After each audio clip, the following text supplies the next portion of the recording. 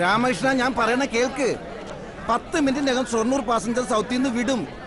അതിനു മുമ്പ് നീ ഇവിടെ എത്തി സാധനം തന്നാൽ ഞാൻ അത് വാർണിച്ചേരിന് കൊടുത്തേക്കാം. അടുത്ത ട്രെയിനിൽ പോകാമെന്നോ? അത് നടക്കില്ല മോനെ.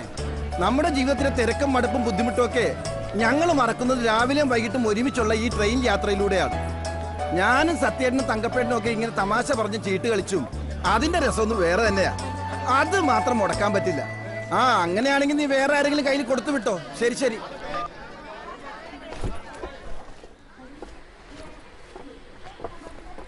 തങ്കപ്പെണ്ണ കണ്ട ടീച്ചറെ?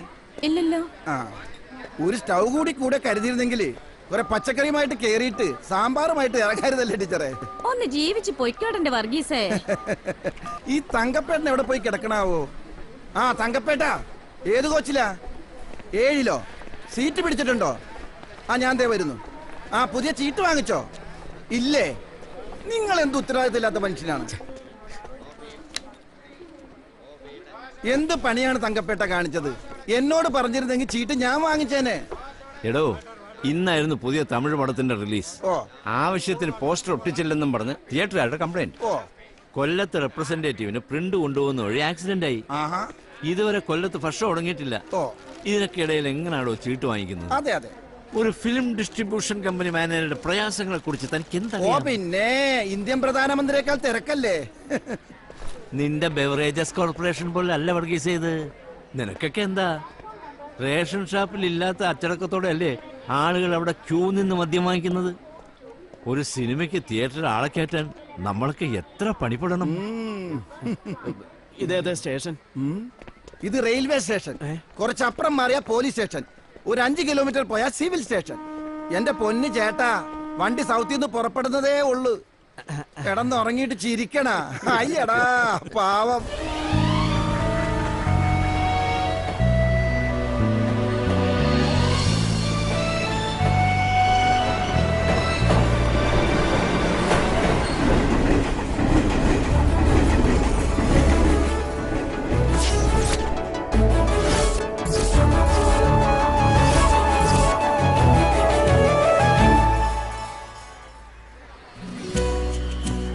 എത്തിയോ? ഞാൻ ഫസ്റ്റ് പ്ലാറ്റ്ഫോമിലാ കോച്ച് പൊസിഷൻ സെവൻ വേണ്ട ഞാൻ എൻട്രൻസിലോട്ട് വരാം.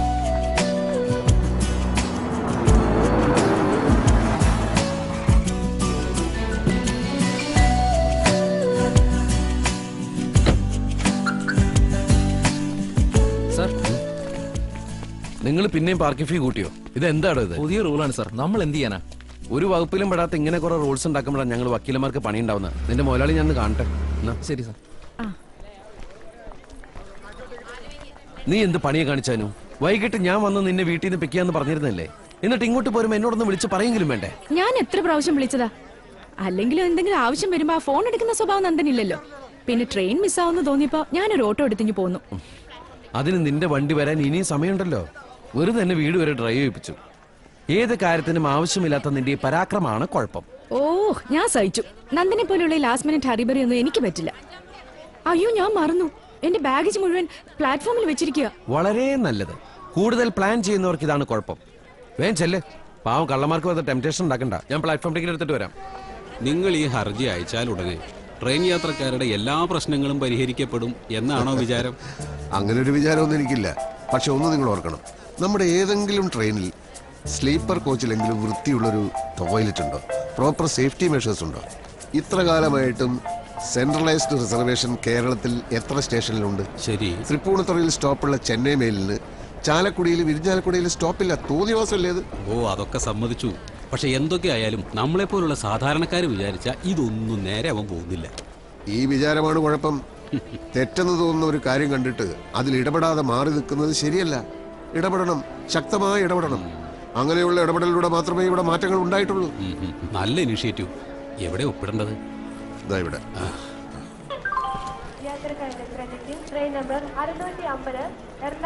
പേരെന്താ പറഞ്ഞേ? സത്യനാഥൻ. എന്റെ വണ്ടി അനൗൺസ് ചെയ്തു. ശരി.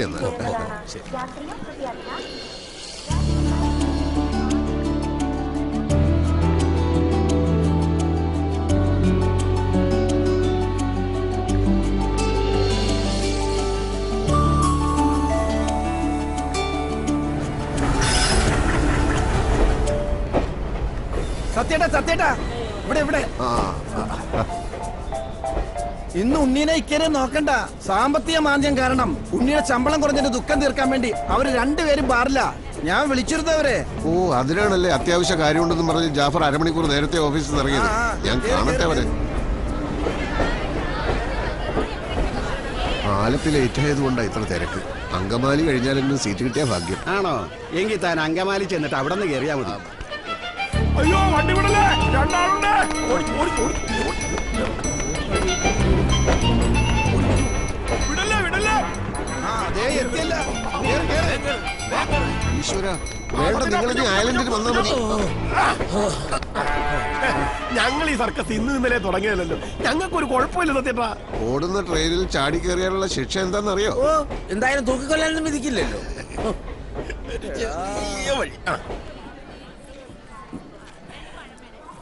വെറുതെ കിടന്ന് ബഹളം കൂട്ടിയിട്ട് ഇപ്പൊ സമാധാനമില്ലേ? ട്രെയിൻ നാൽപ്പത് മിനിറ്റ് ലേറ്റാ. എന്റെ ഈശ്വര? വല്ല ബസ്സും പിടിച്ചു പോണ നന്ദൻ. ചിരിക്കണ്ട. കോട്ടയത്ത് എത്തിയില്ലെങ്കിലെ കാര്യം എനിക്ക് ഓർക്കാനേ വയ്യ. എന്റെ യൂണിറ്റ് അവിടെ വെയിറ്റ് ചെയ്യാ. നീ ഇങ്ങനെ ടെൻഷൻ അടിച്ചിട്ട് ഒരു കാര്യമില്ല ഇന്ന് സമയത്തിന് കോട്ടയത്തെത്താനാണ് വിധിയെങ്കിൽ എത്തിയിരിക്കും. അത്രേ ഉള്ളൂ കാര്യം. വെറുതെ മനുഷ്യനെ കളിയാക്കില്ലേ? ഞാൻ സീരിയസ് ആയിട്ട് പറഞ്ഞാനു? നിന്നെ വീട്ടിൽ നിന്ന് പിക്ക് ചെയ്യാൻ നാല് മണിക്ക് കോടതിയിൽ നിന്ന് ഇറങ്ങാൻ തുടങ്ങിയതാ ഞാൻ. അപ്പോഴാ ചാക്കോ മാപ്പിള കരഞ്ഞുകൊണ്ട് കയറി വന്നത്. അയാളുടെ കേസിലെ നാല് പ്രധാന സാക്ഷികൾ കൂറുമാറിയെന്ന്. എന്നിട്ട്? ഇനി ഒരു ഔട്ട് ഓഫ് കോർട്ട് സെറ്റിൽമെന്റിനെ സ്കോപ്പുള്ളൂ ഞാൻ അയാളുടെ കൂടെ പോയ ആ ബിൽഡറോട് സംസാരിച്ചു. മോശമല്ലാത്ത ഒരു എമൗണ്ട് ഫിക്സ് ചെയ്തു. ആ പാവത്തിന് എന്തെങ്കിലും കിട്ടിക്കോട്ടെ. ആ ബിൽഡറെ അടുത്തിരുന്ന് ഞാൻ സംസാരിച്ചോണ്ടിരിക്കുമ്പോഴാണ് നീ വിളിച്ചോണ്ടിരുന്നത്. ഞാൻ എങ്ങനെ ഫോൺ എടുക്കുക എനിക്കറിയണ്ടേ നന്ദൻ. സോറി സോറി മോൾ ജോലിയൊക്കെ തീർത്തിട്ട് വീട്ടിലേക്ക് വാ. പിന്നെ നീ ആ കോട്ടയത്ത് വിളിച്ച അവിടുത്തെ സിറ്റുവേഷൻ എന്താ നോക്കി? ഓ ഞാൻ ആ കാര്യം മറന്നു. എത്ര മണി വരെ സമയമുണ്ടെന്ന് നോക്കിയാ? ട്രെയിൻ ഇനി ലേറ്റ് ആയാ ഞാൻ വേണമെങ്കിൽ കോട്ടയം വരെ ഡ്രൈവ് ചെയ്യാം. ഓ അങ്ങനെ ഒരു ഓപ്ഷൻ ഉണ്ടല്ലേ? സമാധാനമായി. പിന്നെ സൊല്യൂഷൻ ഇല്ലാത്ത കാര്യങ്ങളുണ്ടോ? മേഹൂന?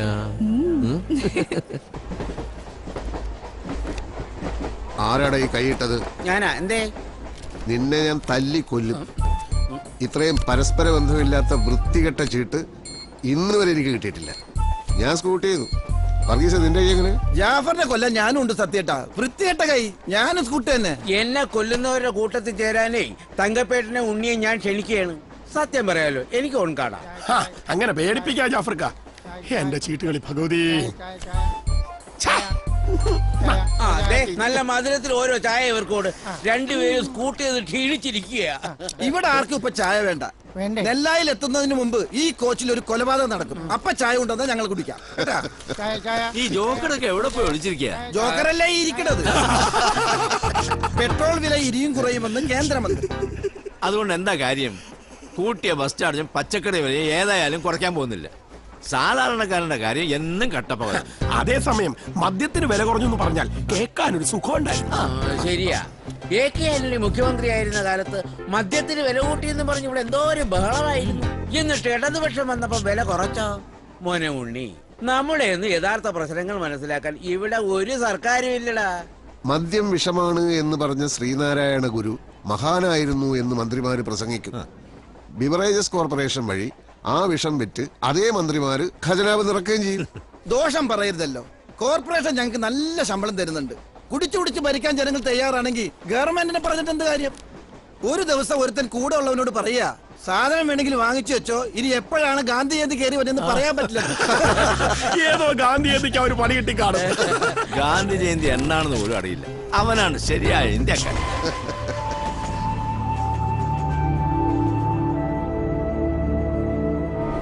ആഭ്യന്തരമന്ത്രി തോമസ് ചാക്കോയുടെ രാജിക്ക് സമ്മർദ്ദമേറുന്നു. ഈ തോമസ് ചാക്കോ തങ്കമ്മരാജനെ പീഡിപ്പിച്ചു എന്ന് പറയുന്നതിന് വല്ല സത്യം ഉണ്ടാവോ? തങ്കമ്മരാജൻ അങ്ങനെ പറഞ്ഞിട്ടുണ്ടെങ്കിൽ അത് സത്യം തന്നെയായിരിക്കും. ആരായി തങ്കമ്മരാജൻ ഞാൻ അവരെ ഈ ട്രെയിനിൽ വെച്ച് തന്നെ പല പ്രാവശ്യം കണ്ടിട്ടുണ്ട്. മാറങ്കരയിലെ കരിമണൽ പ്രശ്നത്തിൽ അവർ സജീവമായി വാർത്തയിൽ വരാറുണ്ടല്ലോ. കരിമണലോ? അതെന്ത് സാധന? കള്ളും കുടിച്ച് നടന്ന കരിമണലിനെ കുറിച്ച് എങ്ങനെ അറിയാനാണ് എന്റെ ഹമുക്കിക്ക? ആറ്റോമിക് എനർജി വരെ ഉണ്ടാക്കാൻ ശേഷിയുള്ള മണലാണ് മാറങ്കര കടപ്പുറത്തുള്ളത്. അത് ഖനനം ചെയ്യാനുള്ള പെർമിഷൻ സർക്കാർ ഒരു പ്രൈവറ്റ് കമ്പനിക്ക് കൊടുത്തു. ഇപ്പൊ മണ്ണെടുത്ത് മണ്ണെടുത്ത് ആ പ്രദേശം തന്നെ ഇല്ലാതാവാൻ പോവുക. ഞാനടിച്ചു ഞാനടിച്ചു പിള്ളേർക്ക്. ഞാനില്ല. സത്യം പറഞ്ഞ ഞാൻ ലൈഫ് അണ്ടിക്കായി അപ്പൊ ലൈഫ് ഇല്ലെന്നർത്ഥം അർത്ഥം. വീം വിളക്കിയപ്പോഴേ എനിക്ക് തോന്നി. സത്യടാ ജാഫർക്കാരൻ നൂറ് എഴുതിക്കേ. സത്യം ചെരിഞ്ഞു. വണ്ടി ആലുവാപ്പാലം കിടന്നല്ലോ. ഇനി ചാലക്കുടി പാലം എത്തുമ്പോ ഉണരും കമ്പ്യൂട്ടറിൽ പ്രോഗ്രാം ചെയ്ത് വെച്ച പോലെയാ. സത്യേട്ടന്റെ ഈ ഉറക്കം ഉണരലും. പത്തിരുപത് കൊല്ലായിട്ടുള്ള ശീലമല്ലേ? എന്നാൽ ഇതൊരു സിദ്ധി തന്നെ. ഇത്രയും ബഹളത്തിനിടയ്ക്ക് എത്ര സമാധാനമായിട്ട് കിടന്ന് ഉറങ്ങണേ നോക്കിയേ. ഉണ്ണി ചീട്ടിട്. ഒരു കണക്കിന് നന്ദം വന്നത് നന്നായി. നമ്മുടെ കല്യാണം കഴിഞ്ഞിട്ട് ആദ്യമായിട്ടല്ലേ ഞാൻ കൊച്ചി വിട്ടു നിൽക്കുന്നത് ഒരു നല്ല കാര്യത്തിന് വേണ്ടിയിട്ടല്ലേ? ഇനി അടുത്ത കാലത്തൊന്നും ഇത്രയും ചലഞ്ചിങ് ആയ ഒരു അസൈൻമെന്റ് കിട്ടിയെന്ന് വരില്ല. നാളെ നമ്മൾ ഒരുമിച്ച് ഗുരുവായൂർ പോവാന്ന് പറഞ്ഞിട്ട് അതും പൊളിഞ്ഞു. അത് സാരമില്ല. നിന്റെ കാര്യം ഞാൻ ഗുരുവായൂരപ്പനോട് പ്രത്യേകം പറഞ്ഞോളാം. പോടുന്നു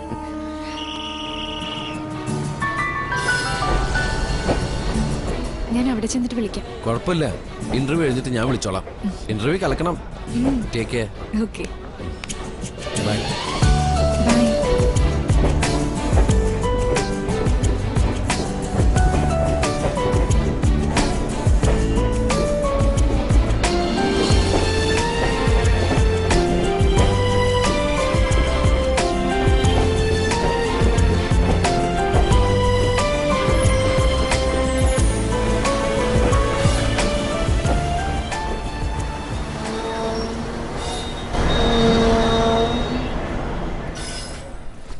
ശരി വർഗീസ് നാളെ കാണാം. നാളെ തൃശ്ശൂരിൽ നിന്ന് വരുമ്പോഴേ രണ്ടിട്ട് പിടക്കണ ചീട്ട് ഞാൻ വാങ്ങിച്ചോളാം. നമ്മുടെ ഫിലിം ഡിസ്ട്രിബ്യൂട്ടർ ഇനി നമ്പിയാലേ സംഗതി ശരിയാവില്ല. ആ ആയിക്കോട്ടെ. ആകാശ് എനിക്ക് ലാഭമായി നമ്മുടെ സേതുലക്ഷ്മി ടീച്ചർക്ക് മൊബൈലിൽ പുതിയ റിംഗ് ടോൺ വേണമെന്ന് പറഞ്ഞിരുന്നു ഞാനൊന്ന് നോക്കട്ടെ. ആ പാവം ടീച്ചർക്ക് പണിയായി. അമ്പലത്തിൽ എന്താ പരിപാടി സത്യപ്പ കഥകളി. നാണുവാശാനും സംഘവും ഇപ്പൊ എത്തിയിട്ടുണ്ടാവും. നിങ്ങൾ കാണാൻ വരുന്നില്ലേ? കഥകളിയല്ലേ? ആ നോക്കട്ടെ. ഇന്ന് ഇന്ത്യയുടെ കളിയുള്ളതല്ലേ? എന്തായാലും ഇത്തവണ ഉത്സവ പരിപാടിക്കൊക്കെ ഒരു പുതുമയുണ്ട്. സത്യേട്ടനല്ലേ ഓർഗനൈസിങ്. പുതുമ ഉണ്ടായിട്ട് എന്താ കാര്യം? ക്രിക്കറ്റും ടി വി ഒക്കെ കഴിഞ്ഞ് നിങ്ങൾക്കൊന്നും ഉത്സവം കൂടാൻ നേരമില്ലല്ലോ.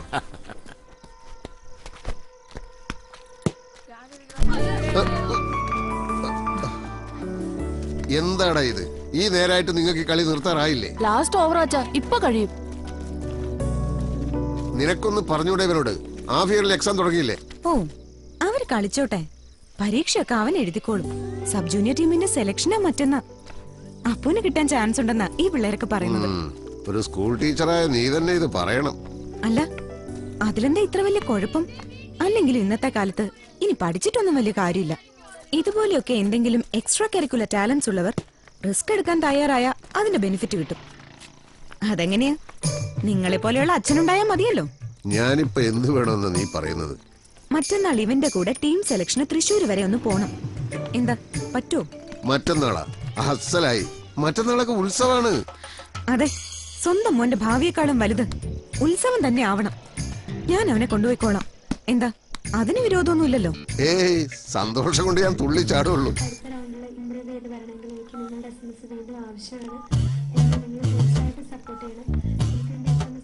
ആവശ്യമുള്ളതൊക്കെ തന്നെയാണല്ലോ നോക്കുന്നതല്ലേ? പിന്നല്ലാതെ പിന്നെ ആ, അമ്മേ ഇന്നത്തെ എസ് എം എസ് എവിടെ വരെ ആയി അമ്പല കമ്മിറ്റിയിൽ നിന്ന് നേരത്തെയാണല്ലോ. നീ ചായപ്പൊടി മേടിച്ചല്ലോ അല്ലേ?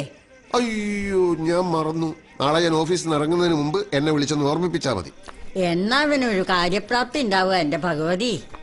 അടുത്ത ആഴ്ച ആവുമ്പോഴേക്ക് കാര്യപ്രാപ്തി ഉണ്ടാക്കാമേ അമ്മേ. ഞാൻ ചെന്ന് കുളിക്കട്ടെ. ഉം. എടി ഇതൊന്ന് ടൈപ്പ് ചെയ്ത് ഞാൻ പഠിച്ചോണ്ടിരിക്കല്ലേ അച്ഛമ്മേ. ഇതിന്ന് എത്രാമത്തെ തവണ എസ് എം എസ് അയക്കുന്നേ? ഇതിന് സ്പെഷ്യൽ റേറ്റ് ആണ് അച്ഛമ്മേ. Six rupees per S M S ഓ ഞാൻ സഹിച്ചു. കഴിവുള്ള കുട്ടികളെ ഇങ്ങനെയൊക്കെയാ പ്രോത്സാഹിപ്പിക്കുക നമുക്കോ ഒന്നും പറ്റിയില്ല. ആ ഗായത്രി. അമ്പലത്തിലെ കഥകളി കാണാൻ വരുന്നുണ്ടോ? സന്താന ഗോപാലാണ് ഇന്ന് കഥ. സ്വന്തം സന്താനങ്ങളെ പറ്റി ആലോചനയില്ലാണ്ട് നിങ്ങൾ ഇങ്ങനെ സന്താന ഗോപാലവും കണ്ടോണ്ട് നടന്നു. എന്താടി സന്താനങ്ങൾക്ക് കുഴപ്പം? ഒരു കുഴപ്പമില്ല ഒരു പെൺകുട്ടി വളർന്നു വരുന്നുണ്ട്. അത് ഓർമ്മ വേണം. എടി പിള്ളേര് വളരാതെ പിന്നെ എപ്പോഴും ജനിച്ച അവസ്ഥയിൽ തന്നെ നിൽക്കുന്നാണോ നീ വിചാരിച്ചത്? അവർ പഠിക്കട്ടെ. എടി അവർക്ക് നല്ല വിദ്യാഭ്യാസം കൊടുക്കാം. നല്ല സംസ്കാരം കൊടുക്കാം. അത്രയൊക്കെ അച്ഛനമ്മമാര് ചെയ്യേണ്ടതുള്ളൂ. നിങ്ങൾ ഇങ്ങനെ തന്നെ ജീവിച്ചാ മതി. പത്തിരുപത് കൊല്ലമായിട്ട് ഒരേ കമ്പനിയിൽ ജോലി ചെയ്യുന്നു. ഒരേ ട്രെയിനിൽ പോകുന്നു വരുന്നു കിടന്നുറങ്ങുന്നു. ഒരു മാറ്റവും ഒരു മേൽഗതിയുമില്ല. എന്ത് മാറ്റാണ് നിനക്കിപ്പോ വേണ്ടത്? ഒന്നും വേണ്ട. നിങ്ങൾ ഉണ്ണാൻ വരുന്നുണ്ടോ? ഞാൻ അമ്പലത്തിൽ നിന്ന് കഴിച്ചോളാം. ആ കഴിപ്പ് എന്താണെന്ന് എനിക്ക് മനസ്സിലാവുന്നുണ്ട്. ഉത്സവം തീരുന്നതോടെ അത് നിർത്തിയേക്കണം. കേട്ടല്ലോ? പിന്നെ ഇല്ലാതെ? ഇന്നിനൊരു പരിപാടിക്ക് ഞാൻ ഇല്ല മോന. ടി വിയിൽ ഇപ്പൊ അനുവിന്റെ പ്രോഗ്രാം ഉണ്ട്. മന്ത്രി തോമസ് ചാക്കോ മുഖാമുഖം. നീ കണ്ടിട്ട് വിളിക്ക്.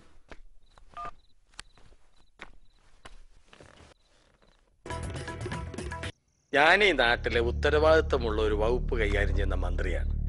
അതിന്റെ ഭാഗമായി ദിവസവും ധാരാളം ആൾക്കാരെ കാണേണ്ടി വരും. പലരുടെയും പരാതി കേൾക്കുന്നു. ചിലപ്പോൾ ഇവരെയും കണ്ടിട്ടുണ്ടാവാം. എന്ന് കരുതി അത് സ്ത്രീ പീഡനമാവുമോ ഇത് തന്നെയാ മിനിസ്റ്റർ പ്രശ്നം. ആദ്യം നിങ്ങൾ പറഞ്ഞു തങ്കമ്മരാജൻ എന്ന സ്ത്രീയെ പരിചയമേ ഇല്ലെന്ന്. ഇപ്പൊ പറയുന്നു കണ്ടിട്ടുണ്ടാവാമെന്ന്. ഇതൊക്കെ സംശയം ജനിപ്പിക്കുന്ന കാര്യങ്ങളല്ലേ?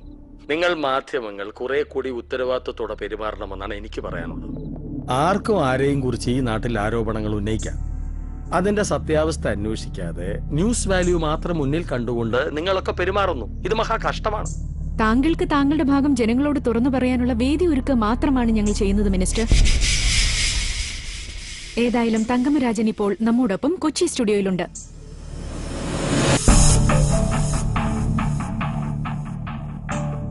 ശ്രീമതി തങ്കമരാജൻ നമസ്കാരം. നമസ്കാരം. കഴിഞ്ഞ ഒരാഴ്ച കാലമായി കേരള രാഷ്ട്രീയത്തിന്റെ സമവാക്യങ്ങൾ മാറ്റിമറിക്കുന്ന തികച്ചും സാധാരണക്കാരിയായ ഒരു സ്ത്രീയാണ് നിങ്ങൾ. മന്ത്രി തോമസ് ചാക്കോ നിങ്ങളെ പീഡിപ്പിച്ചു എന്ന സ്റ്റേറ്റ്മെന്റിൽ നിങ്ങൾ ഇപ്പോഴും ഉറച്ചു നിൽക്കുന്നുണ്ടോ? പിന്നല്ലാണ്ട് വെറും വാക്ക് പറയുന്നവളല്ലേ ഈ തങ്കമ്മ. ഇരുപത്തിനാലാം തീയതി തൈക്കാട് ഗസ്റ്റ് ഹൗസിൽ ഉച്ചയ്ക്ക് ഒരു രണ്ട് രണ്ടര മണിക്കാ സംഭവം. ഇത് ഞാൻ ഏത് മജിസ്ട്രേറ്റിന് മുമ്പിലും തെളിയിക്കാം. അല്ലെങ്കിൽ ഇല്ലെങ്കിൽ അയാൾ പറയട്ടെ. മിനിസ്റ്റർ? ഇത്തരം തെമ്മാടിത്തരത്തിന് മറുപടി പറയലല്ല എന്റെ ജോലി. തെമ്മാടി തരോ ആരോടെ തെമ്മാടി തരം കാണിച്ച്? പ്ലീസ് തങ്കമ്മ ഇതൊരു ലൈവ് ഇന്റർവ്യൂ ആണ്. ആ ലൈവ് ആയാലും അല്ലെങ്കിലും തങ്കമ്മയ്ക്ക് പുല്ല. എനിക്ക് പറയാനുള്ളത് ഞാൻ എവിടെയും പറയും. ഇരുപത്തിനാലാം തീയതി ഗസ്റ്റ് ഹൗസിൽ എന്തൊക്കെ നടന്നെന്ന് ഹക്കുമായിട്ട് ഞാൻ പറഞ്ഞുതരാം. നാട്ടുകാർ കേക്കട്ടെ? ഭരിക്കുന്ന മന്ത്രിമാരുടെ ഓരോ ഗുണങ്ങൾ മിസ്റ്റർ തോമസ് താങ്കൾ ഇരുപത്തിനാലാം തീയതി രണ്ടു മണിക്ക് തൈക്കാട് ഗസ്റ്റ് ഹൗസിലുണ്ടായിരുന്നു അവിടുത്തെ അന്നത്തെ വിസിറ്റേഴ്സ് ബുക്കിൽ തങ്കമ്മരാജൻ എന്ന പേരുമുണ്ട്. എങ്ങനെ വിശദീകരിക്കുന്നു? അവർ സംസാരിക്കുന്ന നിങ്ങളും കേട്ടല്ലോ. ഇവരോടൊക്കെ എന്ത് മറുപടി പറയാനാണ്? ഞാൻ പറഞ്ഞല്ലോ മാറങ്കരയിലെ കരിമണൽ പ്രശ്നവുമായിട്ട് അവരെന്നെ കാണാൻ വന്നിരുന്നു. ആ പ്രശ്നത്തിൽ എനിക്ക് അവരെ സഹായിക്കാൻ പറ്റിയില്ല. അതിന്റെ പക തീർക്കാൻ ഒരു മനുഷ്യൻ ഇങ്ങനെ തേജോവധം ചെയ്യണോ? സഹായം ചോദിക്കാൻ തന്നെയാ പോയെ. പക്ഷെ പിന്നെ ഇവിടെ നടന്നത്?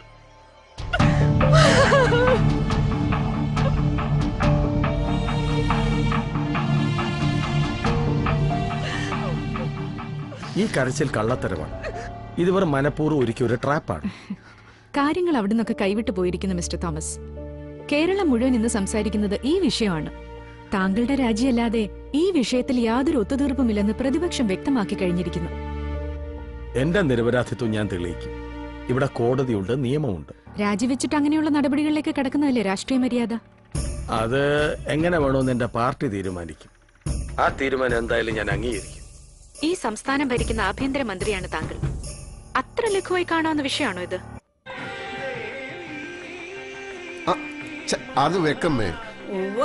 ദേവി മഹാത്മ്യം തുടങ്ങണ നേരായിരിക്കണു ഇതിലെന്താ അത്ര കാണാതിരിക്കണത് രാവിലെ തൊട്ട് ഒരേ വർത്താനം പറഞ്ഞിരിക്കുന്നു. അമ്മയുടെ കഞ്ഞുകൂടി ഇത്ര വേഗം കഴിഞ്ഞോ? ഇനി രക്ഷയില്ല. ഞാൻ അമ്പലത്തിലോട്ട് ചെല്ലട്ടെ. അതിബുദ്ധിമാൻ എന്നാണ് താങ്കളുടെ ശത്രുക്കൾ പോലും താങ്കളെ വിശേഷിപ്പിക്കുന്നത്. അതുകൊണ്ടാണോ ഇത്രകാലമായിട്ടും തോമസ് സാറിനെ ആർക്കും പിടിക്കാൻ പറ്റാത്തത്? എന്റെ കൈകൾ ശുദ്ധമാണ്. കഴിഞ്ഞ നാൽപ്പത് വർഷക്കാലത്തെ സംശുദ്ധമായ രാഷ്ട്രീയ ജീവിതമാണ് എന്റെ മുന്നിലുള്ളത്. ആർക്കും തുറന്ന് പരിശോധിക്കാം. ഇത്രയും നേരത്തെ വിലപ്പെട്ട സമയം ഞങ്ങളുടെ പ്രേക്ഷകർക്ക് വേണ്ടി മാറ്റിവെച്ചതിന് നന്ദി മിനിസ്റ്റർ. നന്ദി. കൈതരാത്തോണ്ട് വേറൊന്നും വിചാരിക്കരുത്. നാളെ ഇത് വേറൊരു വിവാദമാകും. താങ്ക് യു സർ കഴിഞ്ഞല്ലോ. എനിക്കിനി ശ്വാസം വിടാമല്ലോ.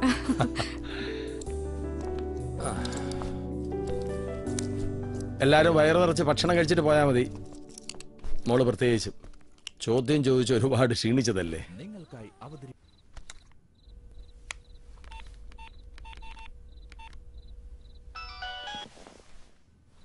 തീർന്നോ? ഞാൻ പിന്നെ വിളിക്കാം. ഓക്കെ. ആര് വക്കീലാണോ? സംസാരിച്ചു സംസാരിച്ചു. ഇങ്ങനെ കുറച്ച് ഭാര്യമാരും ഭർത്താക്കന്മാരും ഇറങ്ങി പുറപ്പെട്ട നമ്മുടെയൊക്കെ കഞ്ഞുമുടി മുട്ടിപ്പോവും വക്കീൽ കേസുണ്ടാക്കുന്നു. ഭാര്യ ഏത് ചാനലിലൂടെ ലോകം മുഴുവൻ എത്തിക്കുന്നു. നിങ്ങൾ രണ്ടുപേരും ഈ ലോകം നന്നാക്കി അടങ്ങും അല്ലേ? Sorry sir don't feel sorry ഞാനൊരു തമാശ പറഞ്ഞല്ലേ? Actually I am proud of you both വക്കീലോട് എന്നെ അന്വേഷണം പറഞ്ഞേക്കൂ. ഓക്കെ സർ ഏ? ശരി എന്നാ ഞാൻ വിശ്രമിക്കട്ടെ. വെളുപ്പിനെ പാലായാലും ഒരു മരണം കൂടാനുള്ളതാ. ഏ? ഓക്കെ സർ ശരി ശരി.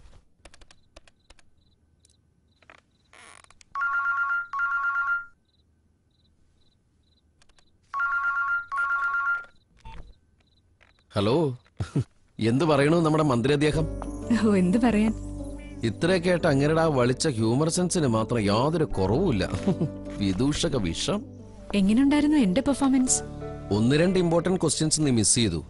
ഞാൻ പ്രത്യേകം നോട്ട് ചെയ്ത് തന്നതല്ലേ? അത് മിസ് ചെയ്തതല്ല. ഞാൻ മനഃപൂർവം വിട്ടുകളഞ്ഞതാ.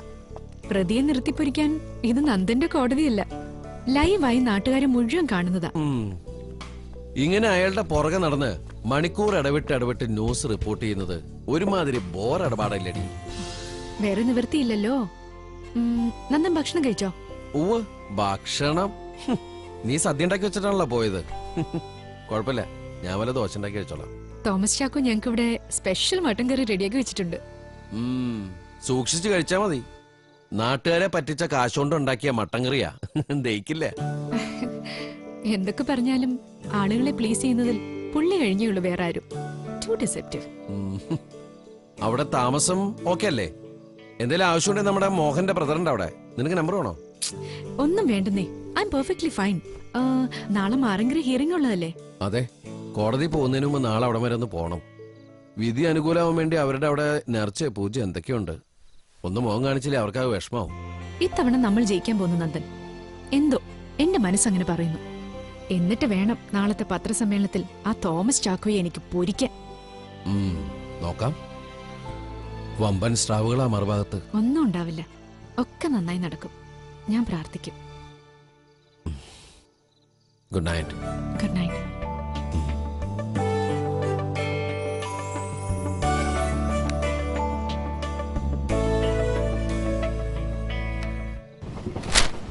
അണലി ഷാജിക്ക് ജാമ്യം.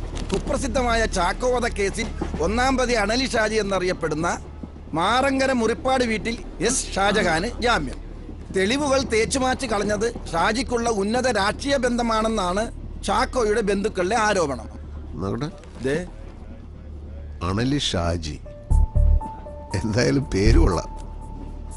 മുറിപ്പാട് വീട്. വീട്ടുപേര് അതിലും കൊള്ളാം. എവിടെ നോക്കട്ടെ? അയ്യോ കണ്ട എന്ത് പാവമാണല്ലേ? നടുറോട്ടിലിട്ട് ഒരുത്തന് പട്ടാപ്പകൽ വെട്ടിക്കൊന്നവന് ജാമ്യം. ഇത് കലികാലമല്ല കൊലകാലമാ. നാളെ എങ്ങനെയെങ്കിലും ഒരു ലീവ് ഒപ്പിക്കണം. നിങ്ങളൊക്കെ നാളെ ലീവല്ലേ? എന്തിന്? എന്റെ തങ്കപ്പെട്ട നിങ്ങൾ ഈ ഒമ്പതാം ഉത്സവത്തിനും കൂടി കൂടില്ല എന്ന് വെച്ചാൽ കഷ്ടാണ് കേട്ടോ. നീ എന്നെ ഉപദേശിക്കല്ലേ സത്യ? നിന്നെക്കാൾ ഒരു പത്ത് ഉത്സവം കൂടുതൽ കൂടിയാനാ ഞാൻ. പക്ഷേ അതിന്റെ അഹങ്കാരം ഉണ്ടോന്ന് നോക്കി. അല്ല അറിയാൻ പാടില്ല എന്നിട്ട് ചോദിക്കാം സത്യേട്ടാ. എന്താ നിങ്ങളുടെ ഉത്സവത്തിന് ഇത്രയും പ്രത്യേകത? എടോ നസ്രാണി തനിക്കിതൊന്നും പറഞ്ഞാൽ മനസ്സിലാവില്ല. ഓർമ്മ വെച്ച നാൾ തൊട്ട് ഇന്ന് വരെ ഞാൻ ഒമ്പതാം ഉത്സവം കൂടാതിരുന്നിട്ടില്ല. ഒരിക്കലും എനിക്കതിന്റെ പുതുമ നശിച്ചിട്ടുമില്ല. അതെന്തുകൊണ്ടാണെന്ന് ചോദിച്ചാൽ എനിക്കറിയില്ല. ഇന്നലത്തെ കഥകളി എങ്ങനെ ഉണ്ടായിരുന്നു സത്യ? അസാധ്യം. നാണു ആശാൻ കലക്കി. കളി കഴിഞ്ഞപ്പോ പുലർച്ചെ ഒന്നര മണിയായി. അപ്പൊ ഇന്ന് സത്യേട്ടൻ ചാലക്കുടി പാല എത്രനും ലക്ഷണമൊക്കെ പേട്ട ഇല്ല മോനെ ഇന്ന് ഞാൻ ഉറങ്ങുന്നേ ഇല്ല നല്ല എനർജി. നീ കളിക്ക.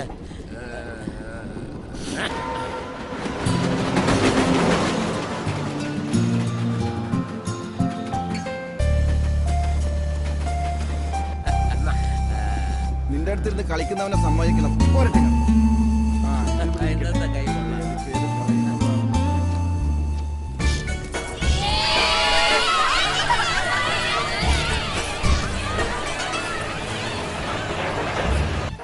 അതെ. ശരി നാലു മണിക്ക്. ആ ഞാൻ എത്തും ഓഹ് ഈ ചാനലുകാരെ കൊണ്ട് തോറ്റു. ചാനലുകളിൽ സംസാരിച്ച് സംസാരിച്ച്. ഏതാണ്ട് ഒരു രാഷ്ട്രീയ നേതാവിന്റെ ടോൺ വന്നിട്ടുണ്ട് ഇപ്പൊ തങ്ങമ്മക്ക് അല്ലട സുധി. പിന്നെ വലിയ പുള്ളിക്കാരത്തെ പോയില്ലേ ഇപ്പോ? ഇരുപത്തിനാലാം തീയതി രണ്ടു മണിക്ക് തൈക്കാട് ഗസ്റ്റ് ഹൗസിൽ വെച്ച് സദാചാര വിരുദ്ധമായിട്ട് നമ്മുടെ മന്ത്രി എന്താ ചെയ്തത്? വക്കീലിനോട് എന്തിനാ മറക്കുന്ന? അന്ന് ഞാൻ അവിടെ ചെന്നു. ഈ മണൽ വരൽ നിർത്തിയില്ലെങ്കിൽ അയാളുടെ വീട്ടു മുമ്പിൽ സത്യാഗ്രഹം ഇരിക്കും പറഞ്ഞു.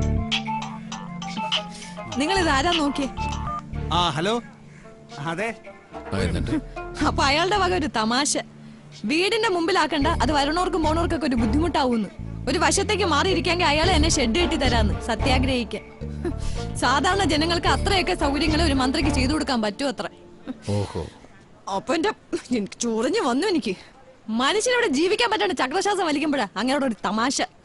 ഞാൻ വായി തോന്നിയൊക്കെ വിളിച്ചു പറഞ്ഞു. പിന്നെ? പിന്നെ പിന്നെന്താ? പിന്നെ അങ്ങ് പോന്നു. എന്ത് കേട്ടാലായി കൂര് നാണമില്ല. കാലമാടെ കാട്ടോത്തിന്റെ ജമ്മല്ലേ അപ്പോ ഈ പറയുന്ന പോലെ കാര്യങ്ങളൊന്നും അവിടെ സംഭവിച്ചിട്ടില്ല. അത് പിന്നെ കൊല്ല എത്ര അവർ ഈ അക്രമം തുടങ്ങിയിട്ട്? പൊന്നാന്നും പറഞ്ഞല്ലേ അവർ ഞങ്ങളുടെ ഈ മണ്ണ് വരി പോണേ? എന്നിട്ട് ഈ മണൽ വാരിൽ നിർത്താനല്ലല്ലോ സർക്കാർ പറയുന്നത് തെര കയറി ചാവണ്ടെങ്കിൽ ഇവിടുന്ന് മാറി താമസിച്ചോണേ ഈ കടപ്പുറ വിട്ട് ഞങ്ങൾ എവിടെ പോവാനാ? ചാവുന്നെങ്കിൽ എല്ലാരും ഇവിടെ കിടന്ന് ചാവട്ടെ. അതിനല്ലേ തങ്കമ്മേ കോടതിയിലെ കേസ് പറയണത്. കേസ്. ഞങ്ങളുടെ പോലുള്ളവരുടെ കൂടെ ഒരു കോടതി ഉണ്ടാവില്ല. വക്കീൽ പറഞ്ഞിട്ടല്ലേ കഴിഞ്ഞ ഇലക്ഷനിൽ ഇവിടുന്ന് ആരും വോട്ട് ചെയ്യാൻ വരാതിരുന്നത്? എന്നിട്ട് എന്തെങ്കിലും സംഭവിച്ചോ? ഈ പറയുന്ന ചാനലിലൊക്കെ എന്റെ കൂടെ വക്കീൽ വന്നിരുന്നല്ലോ. അവരോടൊക്കെ ഞങ്ങളുടെ പ്രശ്നങ്ങളെ ഞാൻ കരഞ്ഞു പറഞ്ഞല്ലേ? എന്നിട്ട് ഒരുത്തരും തിരിഞ്ഞു നോക്കിയില്ലല്ലോ. അതെ രാത്രി പത്ത് മണിക്ക് കേരള ടി വിക്കാർ ഒരു പ്രോഗ്രാം വെക്കട്ടെ എന്ന്. നീ സംസാരിക്കേ. എനിക്കൊന്നും സംസാരിക്കണ്ട. ലൈവ് ആണെങ്കിൽ വരാന്ന് പറയും. ഇല്ലെങ്കിൽ അവന്മാര് പ്രധാനപ്പെട്ട കാര്യങ്ങൾ കട്ട് ചെയ്ത് കളയും. ആ അതെ ഒരു പ്രശ്നമുണ്ടേ. ഞാൻ ഇപ്പൊ പിന്നീട് എല്ലാവർക്കും അങ്ങോട്ട് തങ്കമ്മ വേണം. നാണം കെട്ടവര്. ഇവനൊക്കെ ജനങ്ങളുടെ മുമ്പിൽ പരമാവധി നാറ്റിക്ക. അത് തന്നെയാ എന്റെ ഉദ്ദേശം. ഈ നാട്ടിൽ ഇപ്പൊ എന്നെ കൊണ്ട് ചെയ്യാവുന്നത് ഇതേ ഉള്ളൂ. ഒരു കണക്കിന് ശരിയാ. അഴിമതി കാണിച്ചതിന്റെ പേരിൽ ഏതെങ്കിലും മന്ത്രി ശിക്ഷിച്ചിട്ടുണ്ടോ ഇവിടെ? ആരെങ്കിലും രാജിവെച്ചിട്ടുണ്ടെങ്കിൽ അതൊരു പെണ്ണേഴ്സിലുണ്ടായിട്ടുള്ളൂ നമ്മുടെ കേസിന് ഇതുകൊണ്ട് എന്തെങ്കിലും കുഴപ്പമുണ്ടോ വക്കീലേ? ഏയ് ഇപ്പൊ ഇത്രയും മീഡിയ പബ്ലിസിറ്റി വിഷയത്തിന് കിട്ടിയ സ്ഥിതിക്ക് ജുഡീഷ്യറിയെ അത്ര എളുപ്പത്തിലൊന്നും ഇൻഫ്ലുവൻസ് ചെയ്യാൻ പറ്റില്ല. അത് നമുക്ക് ഗുണയും ചെയ്യൂ. നിങ്ങൾ ഇങ്ങനെ കേസ് കേസെന്നും പറഞ്ഞ് നടന്നു. ഇവിടെ ഒരു വികസനം വരാൻ സമ്മതിക്കരുത്. ഏട്ടാ സി എം സി കാരുടെ ഫാക്ടറി ഇവിടെ വന്നാ ഇവിടെയുള്ള പത്നൂറ് പേർക്ക് ജോലി കിട്ടുക. അതുകൊണ്ട് എന്ത് പ്രയോജനം സുധി? നിങ്ങൾക്ക് ഇവിടെ ജീവിക്കാൻ പറ്റണ്ടേ? അല്ലെങ്കിൽ തന്നെ തുഴ പിടിക്കാൻ നമുക്ക് എന്തിനാ ഈ ഫാക്ടറി പണി? നിങ്ങൾക്കൊന്നും പറഞ്ഞാൽ മനസ്സിലാവില്ല. കൂട്ടിന് നന്ദേട്ടനും. നീ ഒന്ന് വായടക്കടാ.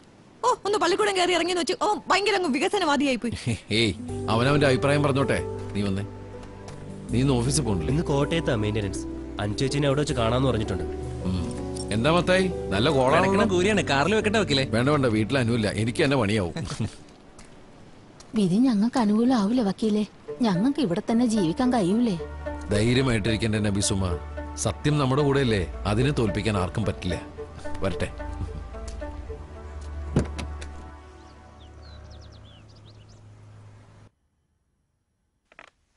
ഉത്സവം അടുത്ത വർഷവും വരും സത്യൻ. എല്ലാ കൊല്ലവും കൂടുന്നതല്ലേ? ഈ ഒരു പ്രാവശ്യം അങ്ങ് ക്ഷമിക്ക്. അല്ല ഇക്കൊല്ലം ഇരട്ടത്തായ്മക പഞ്ചവാദ്യം പള്ളിവേട്ട വെടിക്കെട്ട് പാണ്ഡിമേളം വേറെന്തെങ്കിലും? ആ, ആ, സാറേ ഈ ലീവ് എങ്ങനെയെങ്കിലും ഒന്ന് ഒപ്പിച്ചു തന്നേ പറ്റൂ. എങ്ങനെയെങ്കിലും എന്ന് പറഞ്ഞാൽ എങ്ങനെയാ Sathya? You have to honour your commitment ഓഡിറ്റിങ്ങിനുള്ള എല്ലാവർക്കും ഞാൻ ഇന്ന് തന്നെ തീർത്തോളാം. എത്ര രാത്രിയായാലും. വെരിഫിക്കേഷനും കഴിഞ്ഞ് റിപ്പോർട്ടും മെയിൽ ചെയ്തിട്ടേ ഞാൻ പോകും അതുപോലെ എനിക്കത് ചെയ്യാൻ പറ്റുമെന്ന് സാറിന് വിശ്വാസമില്ലേ? അതല്ല. അപ്പൊ അങ്ങനെ തന്നെ. അല്ല സത്യൻ. ആ അതാ രാധാമണി മേഡം ചായ കുടിച്ചാട്ടെ. ആ. അതാ സത്യേട്ടന്റെ കട്ടൻ. വേണ്ട ഇന്ന് ചായ കുടിക്കാൻ നിന്ന വൈകുന്നേരത്തെ പഞ്ചാരി മേളം പോയി കിട്ടും. ആ അതെന്തേ? അതെ ഇന്ന് അങ്ങോട്ട് പാസഞ്ചറിന് ഞാൻ ഉണ്ടാവില്ല. അയലണ്ടെങ്കിലും കിട്ടിയാൽ മതിയായിരുന്നു. കുറിപ്പേട്ടാ നാളെ ഞാൻ ലീവായിരിക്കും കേട്ടാ. ഇത്തവണയും കമ്മിറ്റി മെമ്പർ ടി വിയിൽ കാണൂ സത്യ. ഏയ് കഴിഞ്ഞ തവണ ആ ചാനലുകാരുടെ മുമ്പ് പെട്ടുപോയതല്ലേ? അല്ലാതെ നമുക്കെവിടെ ഇതിനൊക്കെ നേരം? നാളെ തന്നെ രാവിലത്തെ ശീമയിൽ തൊട്ട് വൈകുന്നേരത്തെ വെടിക്കെട്ട് കഴിയുന്നത് വരെ ഒന്നും ഇരിക്കാൻ പോലും പറ്റില്ല. എന്നാലും അതൊരു സുഖാണ്. നടക്കട്ടെ നടക്കട്ടെ. ആ ഇനി ഉത്സവത്തിന്റെ പേരും പറഞ്ഞ് താനിനി നാളെ വരാതിരുന്നാൽ വിവരം അറിയും. കേട്ടല്ലോ? ഇപ്പൊ ഉത്സവം എന്ന് പറഞ്ഞ ഇയാളെ പോലുള്ളവർക്ക് അടിച്ച് പൂക്കുറ്റിയാവാനുള്ള സമയമാണല്ലോ. അറിഞ്ഞില്ലേ? റസൂൽ പൂക്കുട്ടിക്ക് ഓസ്കാർ അവാർഡ് കിട്ടിയതിന് ശേഷം ജാഫറിന് പുതിയ പേര് വീണിട്ടുണ്ട് അടിച്ച് പൂക്കുട്ടി. ഒന്നും മിണ്ടാതിരിക്കുന്നുണ്ടോ? നാളെ രാവിലെ വരെ ഇരുന്നാൽ തീരാത്ത പണിയുണ്ട് ഇവിടെ.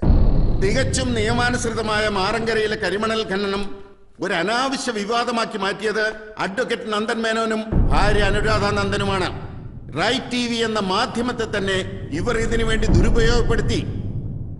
ആഭ്യന്തരമന്ത്രി തോമസ് ചാക്കയോട് ഇവർക്കുള്ള വ്യക്തിവിരോധം മാത്രമാണ് ഇതിന് പുറകിൽ. യുവർ ഓണർ വ്യക്തികൾക്കിവിടെ പ്രസക്തിയില്ല. കഴിഞ്ഞ ആറു വർഷത്തെ ഖനനം കൊണ്ട് മൂന്നര കിലോമീറ്റർ മാറങ്ങര കടപ്പുറം കടൽ വിഴുങ്ങിയിരിക്കുകയാണ്. അവിടെ ഇപ്പൊ കുടിക്കാൻ ശുദ്ധജലമില്ല. കടലിൽ മത്സ്യങ്ങളില്ല. കടൽ സമ്പത്ത് പകുതിയായി. സി എം സി ലിമിറ്റഡിന് സർക്കാർ മൈനിങ് ലീസ് കൊടുത്ത അന്ന് മുതൽ നിർദാക്ഷിണ്യം അവർ ആ പ്രദേശത്തെ നശിപ്പിച്ചുകൊണ്ടിരിക്കുകയാണ്. അവിടുത്തെ ജനങ്ങൾ സത്യത്തിൽ ജീവിക്കാൻ വയ്യാതെ പൊറുതിമുട്ടിയിരിക്കുകയാണ് your honour. Objection your honour. Yes അവിടുന്ന് മാറി താമസിക്കാൻ തക്കതായ കോമ്പൻസേഷൻ കൊടുക്കാമെന്ന് മാറങ്കരയിലെ ജനങ്ങൾക്ക് സി എം സി വാക്ക് കൊടുത്തിട്ടുള്ളതാണ്. തക്കതായ കോമ്പൻസേഷൻ അല്ല തുച്ഛമായ കോമ്പൻസേഷൻ ആ പണവും കൊണ്ട് അവരെവിടെ പോയി ഭൂമി വാങ്ങി കുടിലേട്ടും എന്ത് ചെയ്ത് ജീവിക്കും? മാറങ്കരയിലെ മണലിൽ അടങ്ങിയിരിക്കുന്ന മിനറൽസിന് ലോക മാർക്കറ്റിൽ കോടിക്കണക്കിന് രൂപയുടെ വിലയുണ്ട്. ആ പണത്തിനു വേണ്ടി സംസ്ഥാന ആഭ്യന്തരമന്ത്രി തോമസ് ചാക്കയുടെ സഹായത്തോടെ സി എം സി ലിമിറ്റഡ് പാവപ്പെട്ടവന് ജീവിക്കാനുള്ള അവസരം നിഷേധിക്കുകയാണ്. Objection your honour overrule ഇവിടെയുള്ള രാഷ്ട്രീയക്കാരും സാമുദായിക നേതാക്കന്മാരും വൻ വ്യവസായികളും ആരും ഈ പാവങ്ങളുടെ കൂടെയില്ല. മാറങ്കരയ്ക്ക് പുറത്തുള്ള സാധാരണക്കാർക്ക് ഇതവരെ നേരിട്ട് ബാധിക്കാത്ത വിഷയമായതുകൊണ്ട് താല്പര്യവുമില്ല അതുകൊണ്ടാണ് ഈ അനീതിക്കെതിരെ ശബ്ദമുയർത്താൻ മാറങ്കരയിലെ ജനങ്ങൾ തന്നെ മുന്നിട്ടിറങ്ങിയത്. ജനിച്ച മണ്ണിൽ ജീവിക്കാനുള്ള അവകാശം ഈ നാട്ടിൽ ഓരോ പൗരനുമുണ്ട്.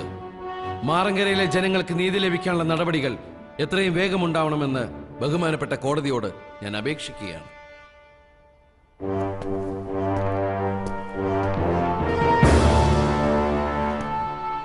മനുഷ്യത്വരഹിതം എന്നാണ് മാറങ്കര കേസിലെ സർക്കാർ ഇടപെടലിനെ കുറിച്ച് ഇന്ന് കോടതി പരാമർശിച്ചിരിക്കുന്നത്.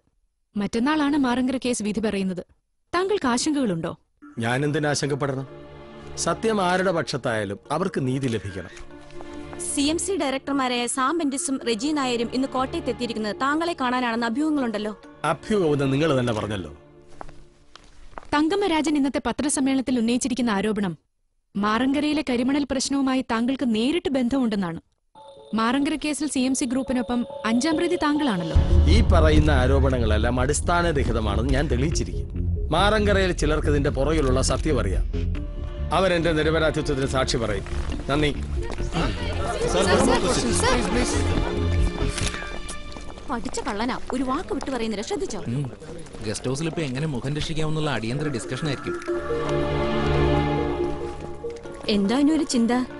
ആസ് യൂഷ്വൽ ഞങ്ങൾക്കിട്ടൊരു പണി തന്ന് വല്ല എക്സ്ക്ലൂസീവ് ന്യൂസ് താനും ഒപ്പിക്കുമോ ഹേയ് ഞാൻ റൂമിലേക്ക് ചെല്ലട്ടെ നല്ല ക്ഷീണം. ഗുഡ് നൈറ്റ് നൈറ്റ് ഒരു ചായതാ ജോർജ്.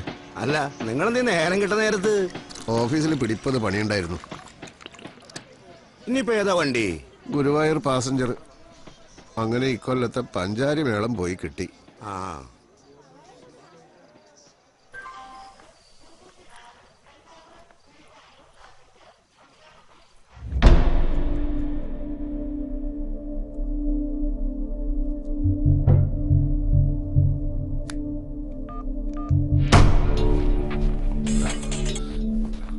ഹലോ അഞ്ചേച്ചി എന്തേ സുധി? ഒരു ഡ്യൂപ്ലിക്കേറ്റ് കീ ഒപ്പിച്ചിട്ടുണ്ട്. ഓക്കെ ഞാൻ ഇപ്പൊ ലോഗിൻ ചെയ്യാം.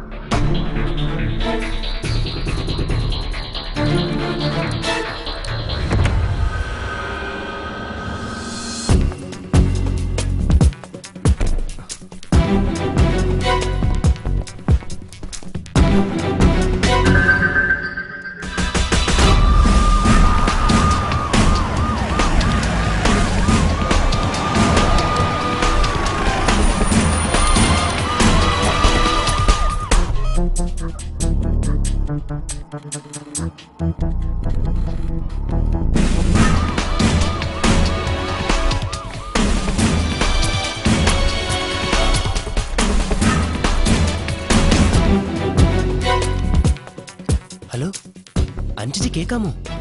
Yes pan you camera little more to the left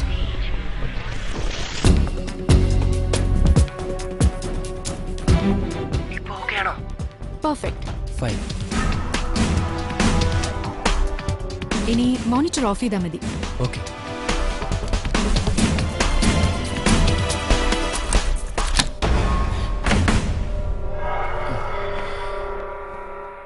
താൻ ആരാ? സർ ഇവിടുത്തെ കമ്പ്യൂട്ടർ മെയിന്റെയിൻസ് ചെയ്യുന്ന ഞങ്ങളാ. ഇതിൽ വയർ ത്രെറ്റ് ഉണ്ടെന്ന് പറഞ്ഞിരുന്നു. അന്ന് ചെക്ക് ചെയ്യാൻ വേണ്ടി വന്നാ. ഒന്ന് ഇറങ്ങി പോടോ. Sorry sir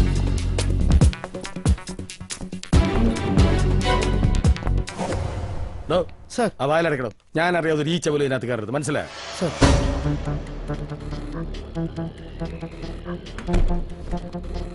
ഇതിപ്പോ ദിവസം ചെല്ലും തോറും പുലിവാൽ കൂടുകയാണല്ലോ. എന്നെ മാജിക് കാണിക്കാമെന്ന പത്രക്കാരോട് പറഞ്ഞത്.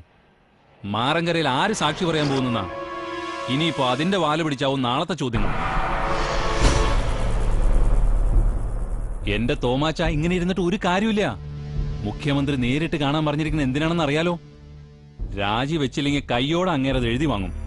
ഒരു മുന്നണി സമവാക്യം ഇത്തവണ രക്ഷയ്ക്കുണ്ടാവില്ല. ജനങ്ങളും പാർട്ടിയും ഒക്കെ ഇത്തവണ നമുക്ക് എതിരാ. അറിയാവടോ. ഇങ്ങനൊരവസരത്തിന് വേണ്ടി കാത്തിരിക്കല്ലായിരുന്നു എല്ലാവരും. അതും രോമത്തിന്റെ വിലയില്ലാത്ത ഒരു ചാവാലി പെണ്ണ് കാരണം. പറഞ്ഞു പറഞ്ഞ് ഇന്നവൾ മാറങ്കര കേസ് വരെ എത്തി. ആ വക്കീലിന്റെ ബുദ്ധി അതിന്റെ പിന്നിൽ. കഴിഞ്ഞതൊന്നും ഇനി പറഞ്ഞിട്ട് കാര്യമില്ല. ഇനി എന്തെങ്കിലും വഴിയുണ്ടോന്ന് ആലോചിക്കേണ്ടത്. രാജിവെച്ചാലത്തെ കാര്യം ഞാൻ പറയണ്ടല്ലോ? മാലപ്പടക്കം പൊട്ടണ പോലെ ഓരോന്നായിട്ട് പുറത്തു വരിക. സാർ നമുക്കൊരു ജനരക്ഷായാത്ര പ്ലാൻ ചെയ്താലോ? തൽക്കാലം ജനങ്ങളുടെ കണ്ണ് പൊടിയുടെ ഇപ്പൊ അതാ നല്ലത്. കടന്നു പോടും എന്റെ മുമ്പിൽ നിന്ന്. പെണ്ണിനേക്കാൾ വലിയ ലഹരിയാണ് അധികാരത്തിന്. അതിന്റെ വിലയേറിയാത്ത കുറെ ഊച്ചാളികൾ കതറിട്ട് നടക്കുന്ന കാരണം അവൾക്ക് നാട്ടുകാരെ വിശ്വസിപ്പിക്കാൻ എളുപ്പമായി. എന്നാ ചെയ്യാത്ത ഒരു കാര്യത്തിന് ഇതൊക്കെ ഉപേക്ഷിക്കണമെന്ന് പറഞ്ഞ മനസ്സില്ല എനിക്ക്. പിന്നെ എന്ത് ചെയ്യാനാണ്? താൻ സി എം സി ശിവനെ ഒന്ന് വിളിക്ക്. സർ അത് വേണോ? മൊബൈലിൽ നിന്ന് വേണ്ട.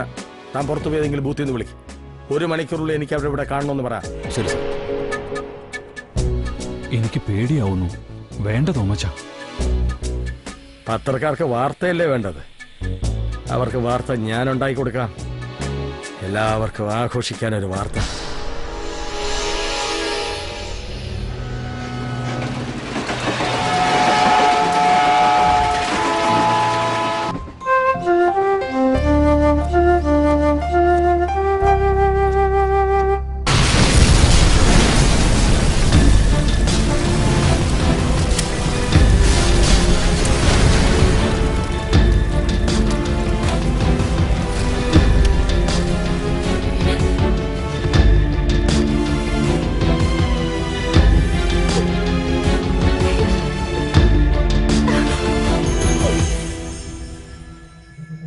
ഈ വെബ്കാം ഓൺ ചെയ്ത്.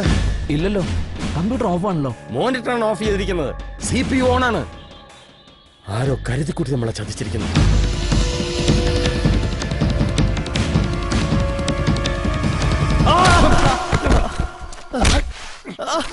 പറയടാ. ആർക്കൊണ്ടേ നീ ചെയ്തത്? ഇവന്റെ ഫോണിങ് എടുക്ക.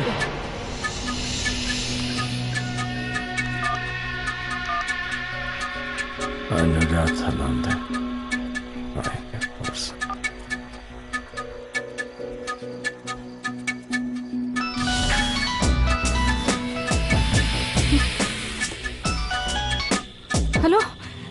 സുധി.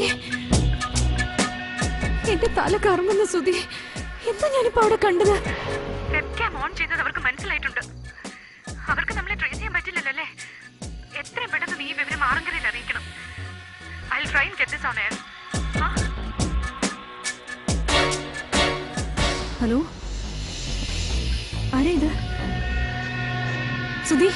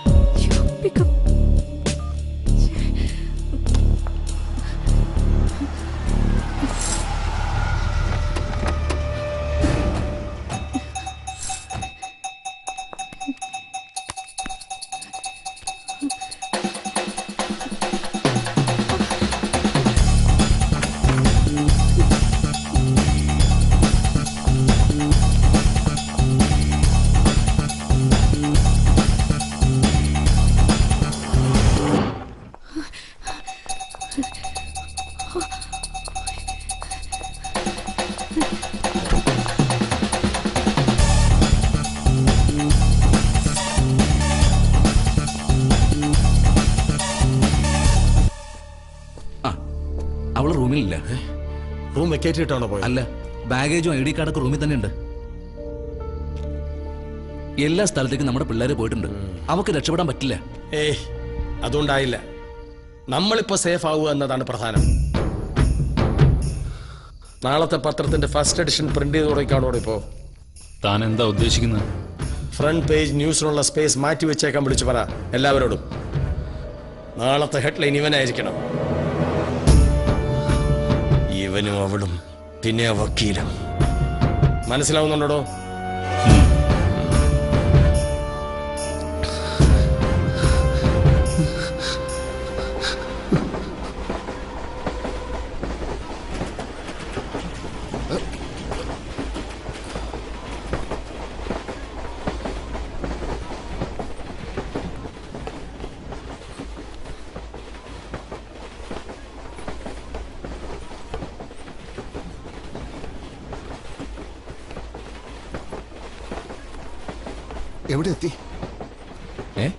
എവിടെ എത്തിയെന്ന്?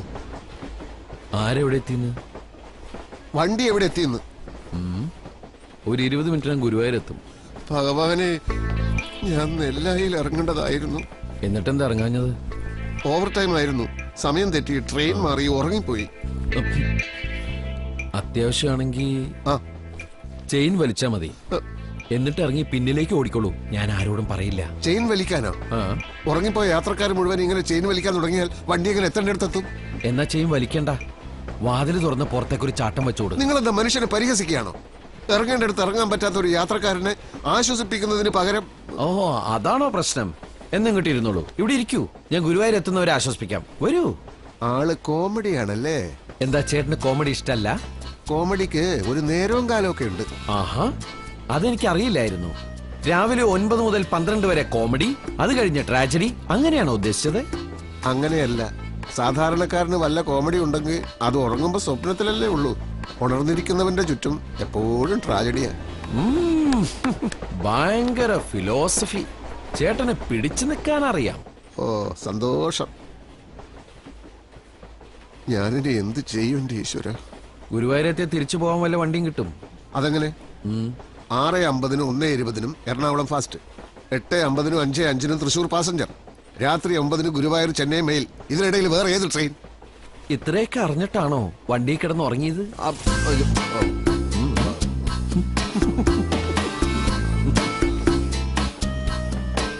നാളെ രാവിലത്തെ ഫാസ്റ്റ് പിടിച്ച് വീട്ടിലെത്തുമ്പോഴേക്കും ശീവേലി കഴിയല്ലോ വീട്ടിൽ സ്വന്തമായിട്ട് ശീവേലിയുള്ള ആളാ?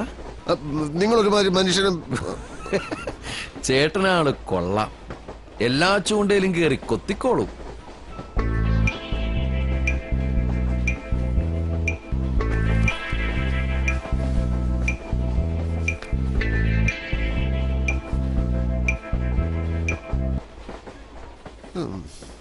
നശിച്ച ദിവസം തന്നെ മൊബൈലിന്റെ ചാർജ് തീർന്നു. വല്ലയിടത്തും വിളിക്കണോ? വേണ്ട. കുഴപ്പമില്ല. ഇതിൽ ചാർജ് ഉണ്ട്. വിളിച്ചോളൂ. ഇത് ഐഡിയ ആണോ ബി എസ് എൻ എൽ ആണോ? പോസ്റ്റ് പെയ്ഡ് ആണോ പ്രീപെയ്ഡ് ആണോ?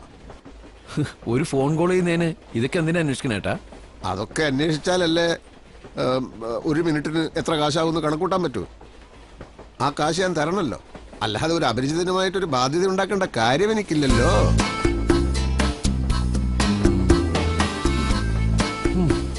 B S N L post പെയ്ഡാ വിളിച്ചിട്ട് കാശ് തന്നോളൂ.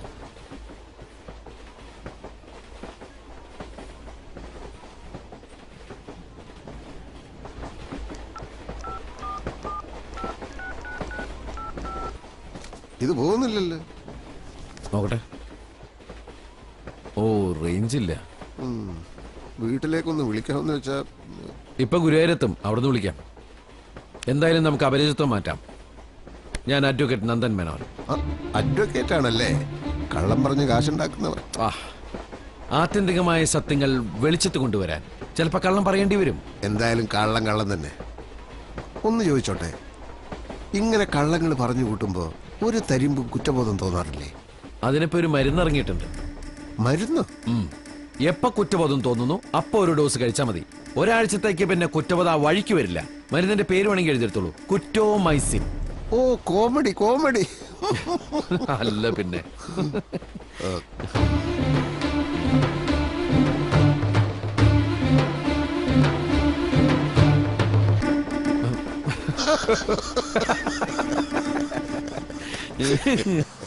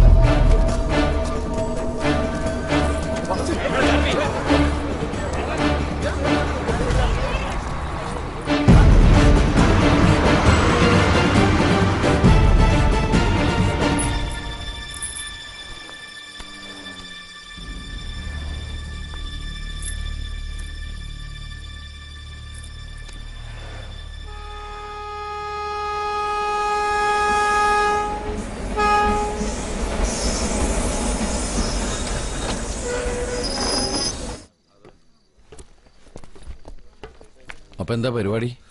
തിരിച്ചു വീട്ടിൽ പോകണം അതെന്ത് സർ ഇനി തൃശൂർ ഭാഗത്തേക്ക് പോകാൻ എന്താ മാർഗം? എന്താ ട്രെയിനിൽ നിന്ന് ഉറങ്ങിപ്പോയോ? ഇതിവിടെ സ്ഥിര സംഭവ. ഞാനല്ല ഇദ്ദേഹം ഉറങ്ങിയത്. നെല്ലായിൽ ഇറങ്ങേണ്ടതായിരുന്നു. ട്രെയിനാണ് ഉദ്ദേശിക്കുന്നെങ്കിൽ ഇനി നാളെ രാവിലെ ഉള്ളൂ. വല്ല ബസ്സും കിട്ടില്ലേ? ലോങ് റൂട്ടിലോടുന്ന് വല്ല ബസ്സും കാണും. പക്ഷെ ഒന്നും റിലയബിൾ അല്ല. ഇനി അധികം സമയമില്ലല്ലോ. ഇവിടെ കിടന്നിട്ട് രാവിലെ പോയാൽ പോരെ? ഇവിടെ കിടക്കാനാണെങ്കിൽ ഡോർമെറ്ററിയിൽ സൗകര്യം ചെയ്തു തരാം. പറഞ്ഞാ മതി. ഞാൻ റൂമിലുണ്ടാകും. എനിക്കിവിടെ ഹോട്ടലിൽ ഒരു മുറിയുണ്ട്. വൈഫിനും കൂടി ഒരു ഡബിൾ റൂമാണ് ബുക്ക് ചെയ്തത്. അവൾക്ക് പെട്ടെന്ന് ഒരു അസൈൻമെന്റ് ഏറ്റെടുക്കേണ്ടി വന്നു. ആൾ റൈറ്റ് ടി വിയിലെ ന്യൂസ് എഡിറ്ററാ അത് ശരി. എന്താ പേര്? അനുരാധ. അനുരാധ നന്ദൻ. ഓ ഞാൻ ശ്രദ്ധിച്ചിട്ടുണ്ട്. പകുതി വാടക തരികയാണെങ്കിൽ നിങ്ങൾക്ക് ആ റൂമിൽ കിടക്കാം. അല്ല പണത്തിന്റെ കാര്യത്തിൽ നിങ്ങൾ ഭയങ്കര സ്ട്രിക്റ്റ് ആണല്ലോ. എ സി റൂമായിരിക്കില്ലേ അതിൽ കിടന്നാൽ നാളെ ഉച്ചയാകുമ്പോഴേ എഴുന്നേക്കാൻ തോന്നും. നമുക്കതൊന്നും ശീലമില്ലാത്തതാണേ. അപ്പൊ പിന്നെ ഡോർമെറ്ററി തന്നെ നല്ലത്.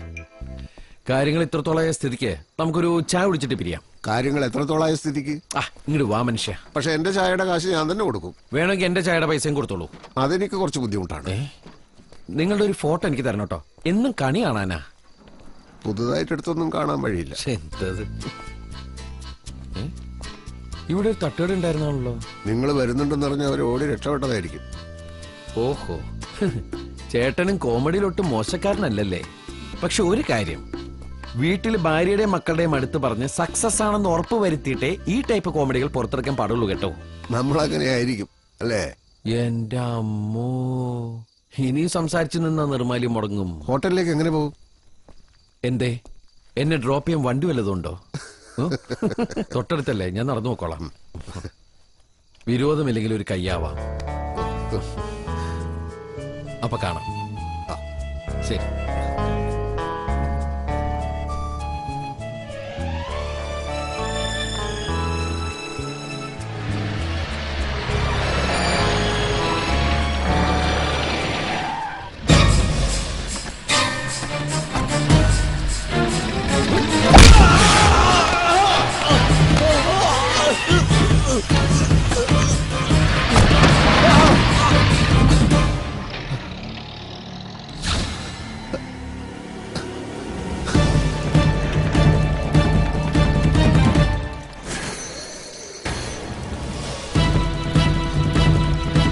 സാർ അയാളെ അടിച്ചു വീഴ്ത്തി നാലഞ്ച് പേർ ചേർന്ന് വണ്ടിയിൽ എടുത്തുകൊണ്ട് പോയി. ആരെ?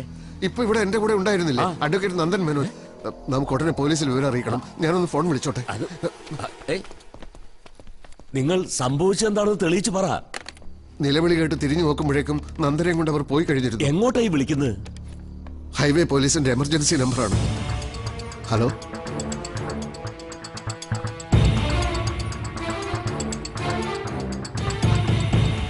ഓക്കേ. ഗുരുവായൂർ റെയിൽവേ സ്റ്റേഷനിൽ വെച്ചല്ലേ? വെഹിക്കിൾ നമ്പർ സാർ ആ ടെൻഷനിൽ അതൊന്നും ശ്രദ്ധിക്കാൻ പറ്റിയില്ല. പ്ലീസ് സർ എന്തെങ്കിലും പെട്ടെന്ന് ചെയ്യൂ. അയാളുടെ ജീവൻ അപകടത്തിലാണ്. സി ഇത്തരം വേഗ് ഇൻഫർമേഷനിൽ ആക്ട് ചെയ്യാൻ ഞങ്ങൾക്ക് ചില ലിമിറ്റേഷൻസ് ഉണ്ട്. Okay we will try your best നിങ്ങൾ റെയിൽവേ പോലീസിനും ഒന്ന് റിപ്പോർട്ട് ചെയ്തേക്കൂ. ഓക്കെ എന്താ? റെയിൽവേ പോലീസിൽ ഒരു പരാതി കൊടുക്കാൻ. അത് ചെയ്യാം. പക്ഷെ അതുകൊണ്ട് എന്താവാനാ അവരെന്തെങ്കിലുമൊക്കെ അന്വേഷിച്ച് പിടിച്ച് വരുമ്പോഴേക്കും അയാൾക്ക് പറ്റാനുള്ള പറ്റിയിട്ടുണ്ടാവും. അല്ലാതെ നമ്മളിപ്പോ എന്താ ചെയ്യേണ്ടത്? ലോക്കൽ പോലീസിൽ വിവരം അറിയിച്ചാലോ? നിങ്ങൾ ഇതിനു മുമ്പ് പോലീസ് സ്റ്റേഷനിൽ കയറിയിട്ടുണ്ടോ? ഇല്ല. ആ പേരെന്താന്നാ പറഞ്ഞത്? സത്യനാഥൻ. അതെ സത്യനാഥ. ഇത്രയും കാലത്ത് അനുഭവം കൊണ്ട് പറയണമെന്ന് കരുതിയാ മതി. ഇങ്ങനെ ഒരു സംഭവമേ നടന്നിട്ടില്ലെന്ന് കരുതി ഇതങ്ങ് മറന്നു കളയുന്നതാണ് തനിക്ക് നല്ലത്. സാർ എന്താ ഈ പറയുന്നത്? ഇപ്പൊ പോലീസ് പറഞ്ഞു കേട്ടില്ലേ? ഇനിയിപ്പോ നിങ്ങളൊരു കംപ്ലൈന്റ് രജിസ്റ്റർ ചെയ്താൽ അവസാനം അത് കേസായി ഒക്കേറ്റിന്റെയും പിറകെ കുറെ കാലം കോടതി കയറി ഇറങ്ങേണ്ടി വരും. അതിലേക്ക് എടുത്ത് കടന്ന അതുകൊണ്ട് മാത്രം അയാൾ രക്ഷപ്പെട്ടോളൊന്നുമില്ല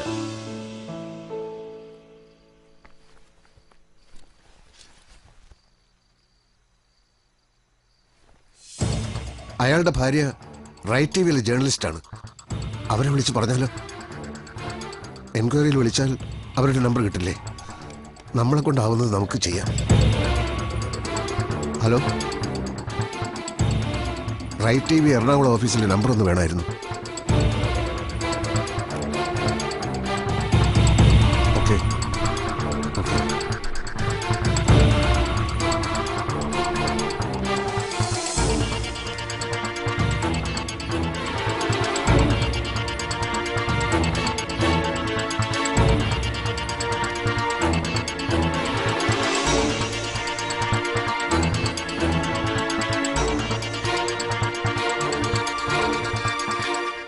വിളിച്ചിട്ട് ആരും എടുക്കുന്നില്ലല്ലോ.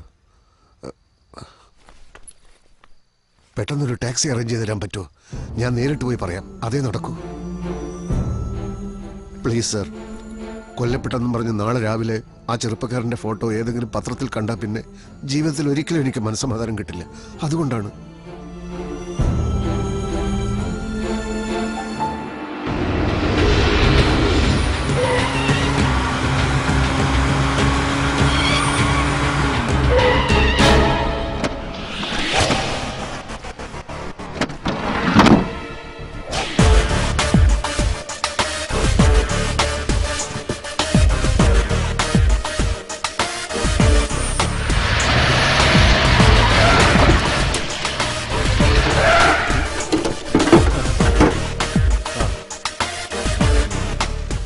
കമ്പനി എത്ര ഇവനകത്ത് ജീവനോടെ ഇരിക്കും വെക്കാം. രണ്ടു മണിക്കൂറല്ലേടാ. ചാവണമെങ്കിൽ ചാവട്ടെ.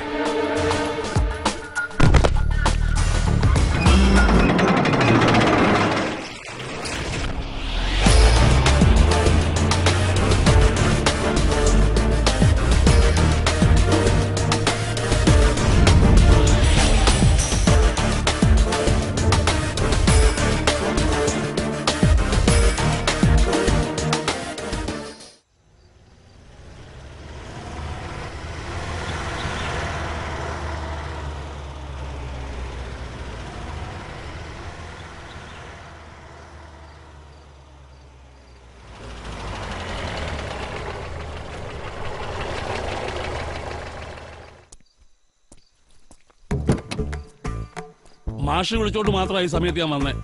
ദേവകിക്ക് വലിവ് കൂടുതലാ. നാട്ടിലുള്ള സ്വർണം മുഴുവൻ മേടിച്ച് കെട്ടിച്ചു വിട്ട പെമ്പിള്ളാർക്ക് രണ്ടുപേർക്കും ഇപ്പൊ അമ്മയെ നോക്കാൻ നേരമില്ല. ഇയാൾക്കാണ് എറണാകുളത്ത് പോണ്ടേ? അതെ നമുക്ക് വേഗം പുറപ്പെടാം. മാഷക്ക് പരിചയമുള്ള ആളാണ്? സംസാരിച്ചു നിൽക്കാൻ സമയമില്ല. എനിക്ക് സമയം ഉണ്ട്. പാതിരാക്കി സവാരിയും വിളിച്ചോണ്ട് പോയി. ആളില്ലാത്ത സ്ഥലത്ത് ചെല്ലുമ്പോൾ ഡ്രൈവറെയും കൊന്ന് വണ്ടിയും തട്ടിക്കൊണ്ട് പോണതേ. ഇപ്പൊ ഒരു സ്ഥിരം ഏർപ്പാടാ. അതുകൊണ്ടാ ചോദിച്ചത് മാഷക്ക് പരിചയമുള്ള ആളാണോ എന്ന് ഞാനിപ്പോ പരിചയപ്പെട്ടതേ ഉള്ളൂ. എന്നാൽ ആളുകളെ കണ്ട അറിയില്ല നായരെ. ഇയാൾക്ക് എത്രയും പെട്ടെന്ന് എറണാകുളത്ത് എത്തണം.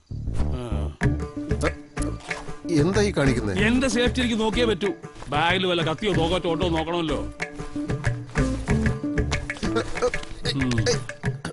ആ പിന്നൊരു കാര്യം.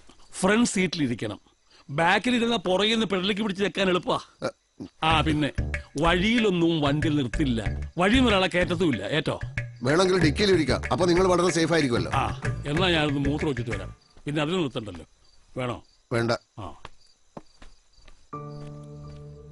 കുറ്റം പറയാൻ പറ്റില്ല. ഇപ്പൊ എല്ലാവർക്കും എല്ലാവരും പേടിയാ. ഏതാനും മിനിറ്റുകൾക്ക് മുമ്പ് നമ്മളോട് സംസാരിച്ച ആ വക്കീൽ അറിഞ്ഞോ? ഒരു അപകടം അയാൾ കാത്തിരിക്കണ്ടെന്ന്. നിങ്ങളുടെ ഈ യാത്ര വെറുതെ ആവില്ലെന്ന് എന്റെ മനസ്സ് പറയുന്നു.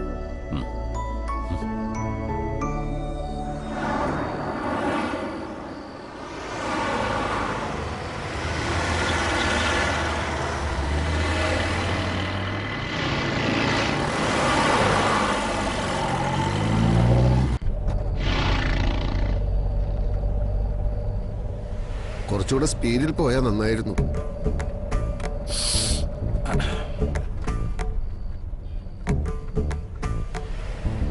നിങ്ങളോടാ പറഞ്ഞത് കുറച്ചുകൂടെ സ്പീഡിൽ പോണം. ഇത് വിമാനമല്ല. ഇത്രയും നേരായിട്ട് തൃശ്ശൂർ പോലും എത്തിയിട്ടില്ല. എഞ്ചിൻ പണി കഴിഞ്ഞിട്ട് ദിവസം രണ്ടേ ആയുള്ളൂ. അടുത്ത ആയിരം കിലോമീറ്റർ വരെ ഈ സ്പീഡിലേ പോകാവൂ. അത് പുറപ്പെടുമ്പോ പറഞ്ഞില്ലല്ലോ. അത് പുറപ്പെടുമ്പോ ചോദിച്ചില്ലല്ലോ. എഞ്ചിൻ മണി കഴിഞ്ഞോ? എത്ര സ്പീഡിൽ ഓടും എന്നൊക്കെ ചോദിച്ചിട്ടാണോ ആളുകൾ ടാക്സി വിളിക്കുന്നത്? സ്പീഡിന്റെ കാര്യത്തിൽ നിർബന്ധമുള്ളവർ അതൊക്കെ ചോദിക്കണം. പ്ലീസ് നിങ്ങളൊന്ന് വേഗം വിടൂ.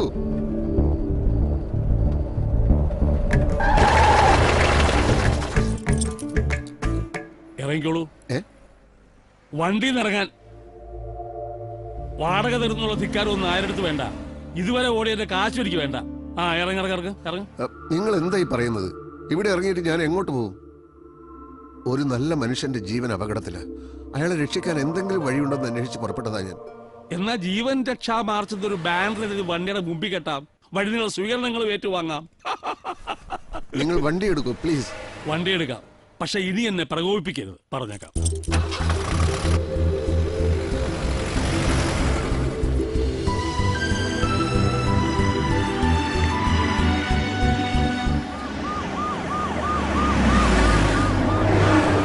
ആ വക്കീലിനെ ഇനി എന്താ ചെയ്യേണ്ടത്? വക്കീൽ ഒരു ചൂണ്ടയാണ്. അവൾ വരട്ടെ. ഇനി ഇവിടെ പറയുന്ന ഇവിടെ ഒരു മനുഷ്യരും വിശ്വസിക്കരുത്. ഒരാളും അവളെ സഹായിക്കാനുണ്ടാവരുത്. ഉം. ചെക്കന്റെ ബോഡിയുടെ കൂടെ മാറങ്കരയിലേക്ക് നമ്മുടെ ആൾക്കാരും പോണം. അമ്മയെ ഞാൻ പറയുന്നത് കേൾക്കൂ. ഒരു അത്യാവശ്യ കാര്യമുണ്ട്. എന്തായാലും ഉച്ചയ്ക്ക് മുമ്പ് ഞാൻ അവിടെ എത്തും. മൊബൈലിന്റെ ചാർജ് തീർന്നു. ഗായത്രിയോട് പറഞ്ഞാൽ മതി. വണ്ടി എടുക്കൂ. വണ്ടി എടുക്കാൻ.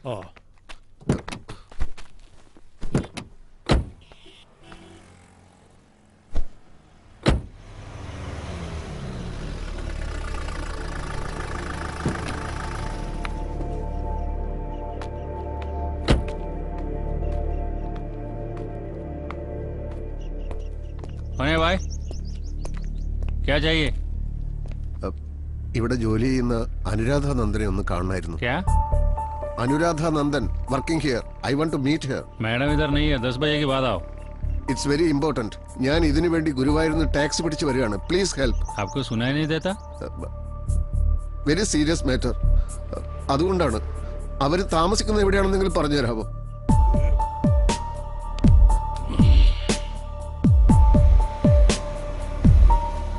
ആ ഇവിടെ നിർത്തും.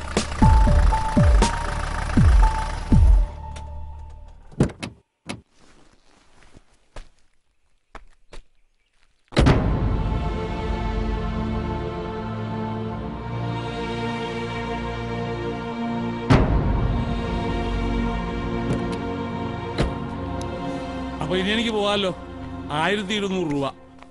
ഇവിടെ എന്തോ പ്രശ്നമുണ്ടല്ലോ. ഏ? ഈ വീടാരും ആക്രമിച്ചിരിക്കുക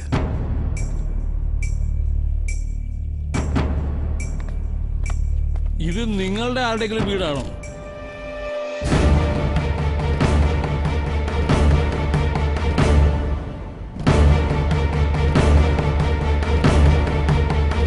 ഈ വക്കീലിന്റെയും ഭാര്യയുടെയും വീടാണിത്. ഇവരുടെയോ?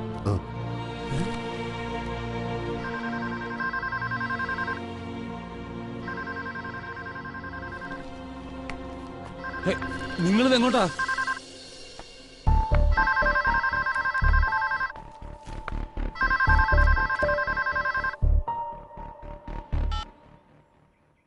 ഹലോ? നന്ദൻ ഞാൻ യൂണിവേഴ്സിറ്റി ലൈബ്രറിയിൽ നിന്നാണ് വിളിക്കുന്നത് ഗുരുവായൂരിൽ എപ്പോ എത്തി. ഇന്നലെ രാത്രി തൊട്ട് ഞാൻ ട്രൈ ചെയ്യാ. നന്ദൻ എത്രയും പെട്ടെന്ന് ഇവിടെ വരണം. ഐ മീൻ ട്രബിൾ ആരൊക്കെയോ എന്നെ ഫോളോ ചെയ്യുന്നുണ്ട്. കോട്ടയത്ത് നിന്ന് നാല് ബസ് മാറി കയറി ഞാൻ വന്നത്. നമ്മുടെ സുതിക്ക് എന്തോ പറ്റിയിട്ടുണ്ട്.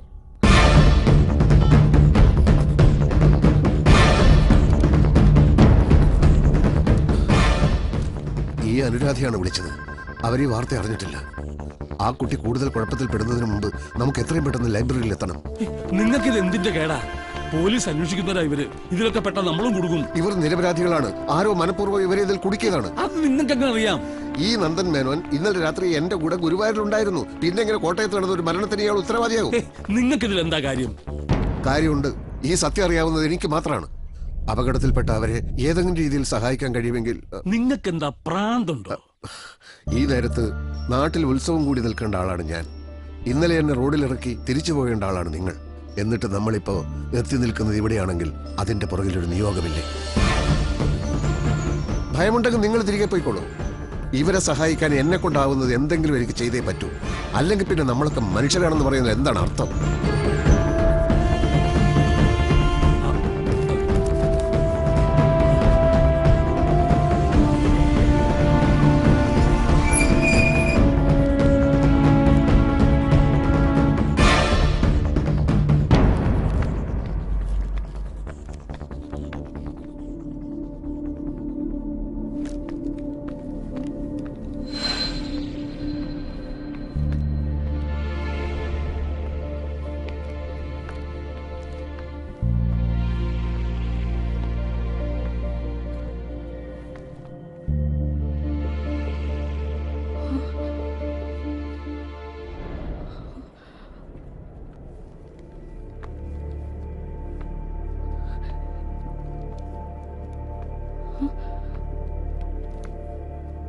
അനുരാധ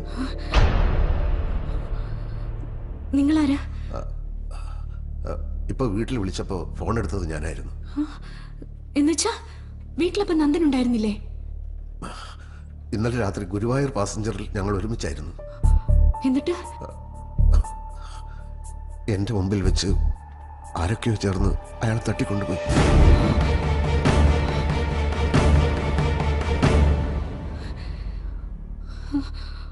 ആ വിവരം അറിയിക്കാൻ വേണ്ടി ഞാൻ നിങ്ങളെ തിരഞ്ഞു നടക്കായിരുന്നു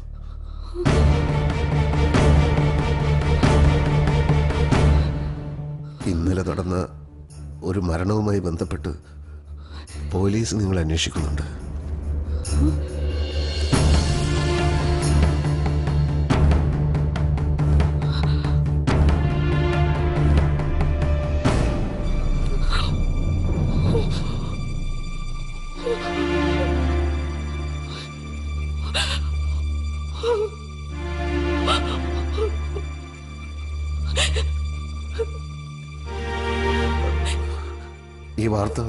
കള്ളമാണെന്ന് എനിക്കറിയാം.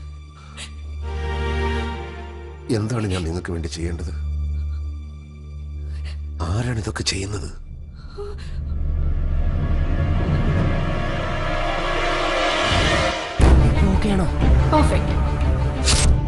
ഒന്നിറങ്ങി പോണോ? സോറി സാർ ആ വക്കീലിന്റെ ബുദ്ധി അതിന്റെ പിന്നിൽ. പത്രക്കാർക്ക് വാർത്തയല്ലേ വേണ്ടത്? അവർക്ക് വാർത്ത ഞാൻ ഉണ്ടാക്കി കൊടുക്കാം. We don't have any other option. We are playing with millions. I know, Mr. Sam. We have to do this now. എന്തായാലും മറ്റന്നാളത്തെ വിധി നമുക്ക് തരാമെന്ന് ഉറപ്പാ ഇപ്പോഴത്തെ ഒരു സ്റ്റേജിൽ മാറങ്കരയിലെ മൈനിങ് സ്റ്റോപ്പ് ചെയ്യാന്ന് പറഞ്ഞ അതിന്റെ ഇമ്പാക്ട് എത്രയാണെന്ന് ഞങ്ങൾ പറഞ്ഞു തരേണ്ട കാര്യമില്ലല്ലോ അറിയാമടോ ശിവൻ അതിനേക്കാൾ പ്രധാനം ഞാൻ രാജിവെക്കണമെന്ന് പറഞ്ഞുള്ള ഈ ബഹളം ഒന്ന് ഒതുക്കുന്നതാണ് ഒരു ദുരന്തത്തിന്റെ എഫക്റ്റിൽ ജനങ്ങളെല്ലാം മറന്നോളും അങ്ങനെയാണല്ലോ എന്തുകൊണ്ടും മാറങ്കരക്കാർക്ക് ഇപ്പൊ ചാകാനുള്ള സമയമാണ് ഈ- തങ്കമ്മേനൊരു തങ്കമ്മേൻ ഒരു കാരണമായെന്നേ ഉള്ളൂ എന്നാലും ഈ പ്ലെയിൻ ക്രാഷ് എന്നൊക്കെ പറയുമ്പോ കൺസീവ് ചെയ്യാൻ ഒരു വിഷമം. ഇത്രയ്ക്കൊക്കെ മെനക്കെടാൻ നിൽക്കണോ? നമ്മുടെ പത്ത് പിള്ളേരെ വിട്ട് ഒരു കമ്മ്യൂണൽ ഇഷ്യൂ ഉണ്ടാക്കിയ പോരെ? പിന്നെ അതങ്ങ് ആളെ പിടിച്ചോളും. ആളി പിടിക്കും. അത് തന്റെ വിവരം കിട്ട പോലീസ് ബുദ്ധി. മതവും തീവ്രവാദവും ഒക്കെ പറഞ്ഞു പറഞ്ഞ് ഞങ്ങൾ തന്നെ മടുത്തു. ഇതല്ലാതെ വേറെ എന്ത് മാറം കയറി സംഭവിച്ചാലും എല്ലാ വിരലുകളും എന്റെ നേരെയാവും ചൂണ്ടുക. ഞാനൊന്ന് ഡെമോൺസ്ട്രേറ്റ് ചെയ്യാം. അപ്പോൾ ഈ കൺഫ്യൂഷൻസ് എല്ലാം ക്ലിയർ ആവും. ഇത് മുംബൈ എയർപോർട്ട്. ഇന്ത്യയിലെ ഏറ്റവും വലിയ മദ്യ വ്യവസായികളായ തഹേരിയ ഗ്രൂപ്പിന്റെ പ്രൈവറ്റ് എയർക്രാഫ്റ്റ് നാളെ ഈവനിംഗ് കൃത്യം നാല് ഇരുപതിന് മുംബൈയിൽ നിന്നും ടേക്ക് ഓഫ് ചെയ്യും. കൊച്ചിയിലെ അവരുടെ ഡിസ്റ്റിലറിയിലേക്കുള്ള ഹൈലി ഇൻഫ്ലേമബിൾ ലിക്കർ ബാരൽസുമായാവും നാളെ അത് കേരളത്തിലേക്ക് പറക്കുന്നത്. ഇത് നമ്മുടെ ടാർഗറ്റ് മാറങ്കര ഗ്രാമം. തഹേരിയ ഫ്ലൈറ്റിന്റെ പെർമിറ്റഡ് ട്രാൻസിറ്റ് പാത്തിലാണ് മാറങ്കര ഗ്രാമം. കൃത്യം അഞ്ച് അൻപത്തി അഞ്ചിന് ആ ഫ്ലൈറ്റ് മാറങ്കരയ്ക്ക് മുകളിലെത്തും. ഫ്ലൈറ്റിലുള്ള എസ്കേപ്പ് മെഷീൻസ് ഉപയോഗിച്ച് പൈലറ്റ് രക്ഷപ്പെടും. ഗിസ ഫിലിപ്പേ കാശ് കിട്ടിയാൽ എളിന്തും ചെയ്യും.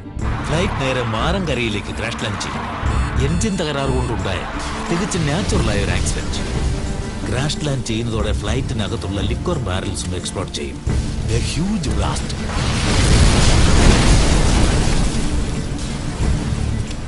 ആയിരക്കണക്കിന് മനുഷ്യർ തിങ്ങിപ്പാർക്കുന്ന മാറങ്കര പ്രദേശത്ത് അതിനുശേഷം ഒരു മനുഷ്യജീവനും ബാക്കി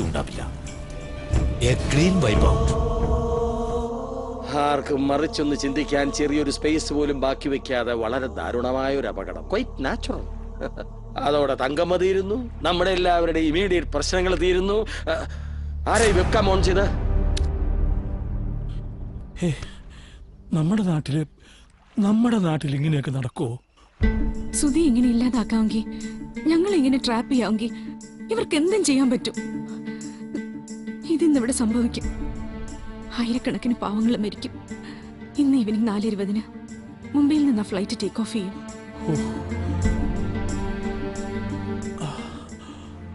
മന്ത്രി ഒന്ന് വിളിച്ചു നോക്കൂ. ഇപ്പോഴത്തെ അവസ്ഥ എന്താണെന്ന് അറിയില്ലല്ലോ.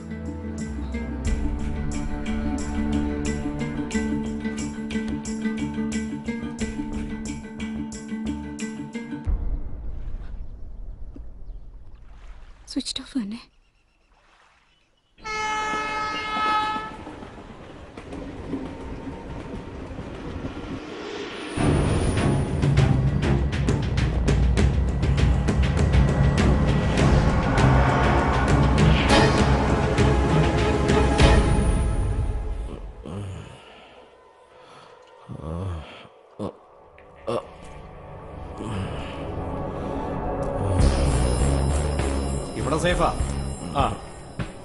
എന്റെ ശിവൻ സാറെ ആ ഡി ജി പിയോടും മന്ത്രിയോടൊന്ന് പറ. അടി ശരിക്കും കൊണ്ടുണ്ട്. ഇനി വെച്ചോണ്ടിരുന്ന പണിയാവും പറഞ്ഞേക്കാം. ഇക്ക സംഗതി പശക. അവന്റെ തല പൊട്ടി ചോര പോയിക്കൊണ്ടിരിക്കുക. ഉടനെ എന്തെങ്കിലും ചെയ്തില്ലെങ്കിൽ നാലഞ്ച് മണിക്കൂറിനുള്ള അവന് പണി കിട്ടും.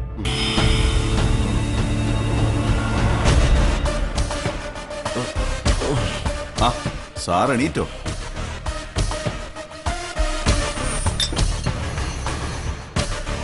ഞങ്ങൾ ഇന്നലെ സാറിന്റെ വീട് വരെ പോയിരുന്നു.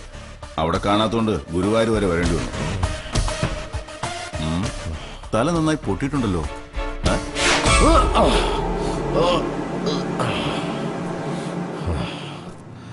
എനിക്കറിയാം നിങ്ങളെ. അണലി ഷാജി എന്നല്ലേ നിങ്ങളുടെ പേര്? ചിലരങ്ങനെയും വിളിക്കും. എന്നെ പോലുള്ളവർക്ക് അതൊക്കെയല്ലൊരു ഐഡന്റിറ്റി ഏത് മന്ത്രിയെ കുറിച്ചാ അയാൾ ബസ് സംസാരിച്ച്. തോമസ് ചാക്കോക്ക് വേണ്ടിയിട്ടാണോ നിങ്ങൾ ഇതൊക്കെ ചെയ്യുന്നത്? എന്തിനാ നമ്മൾ ഈ ആവശ്യമില്ലാത്ത കാര്യങ്ങൾ സംസാരിച്ച് നേരം കളയുന്നത്? സാർ റെസ്റ്റ് എടുക്കണം. ഇവിടുന്ന് രക്ഷപ്പെടാൻ നോക്കി വെറുതെ യുവന്മാർക്ക് പണിയുണ്ടാക്കണ്ട കേട്ടല്ലോ? എന്തായാലും നിങ്ങൾ വിചാരിക്കണമല്ലോ ഒന്നും നടക്കാൻ പോകുന്നില്ല. എന്നെ കൊന്നാലും. കൊല്ലാൻ ഞങ്ങൾക്ക് ഇഷ്ടമുണ്ടായിട്ടാണോ സാറേ? പക്ഷെ കൊല്ലാൻ പറഞ്ഞാൽ കൊല്ലാണ്ടിരിക്കാൻ പറ്റുമോ? നമ്മുടെ ജോലി ഇതായി പോയില്ലേ?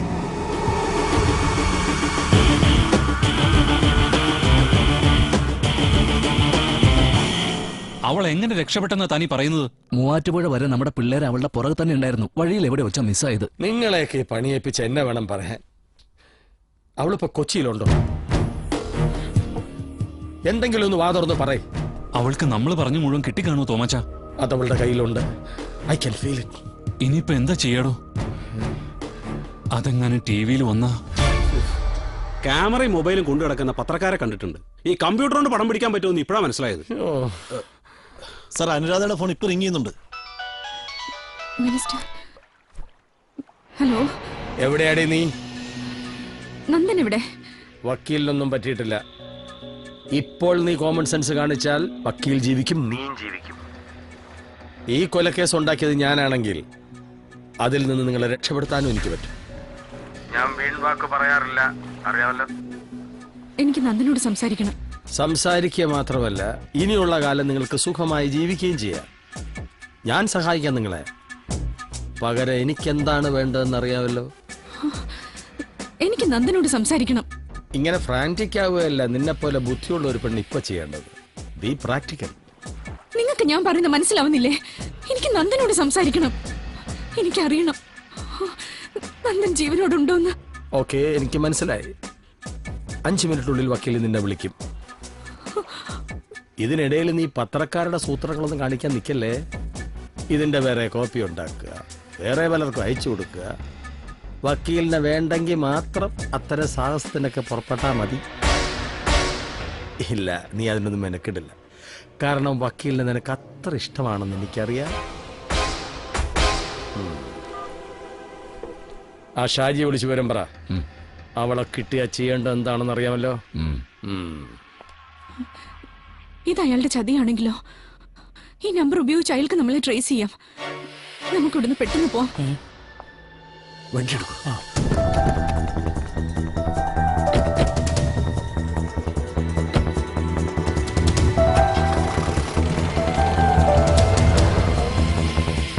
ശരി. നീ സാറിന്റെ ഫോൺ എടുക്ക.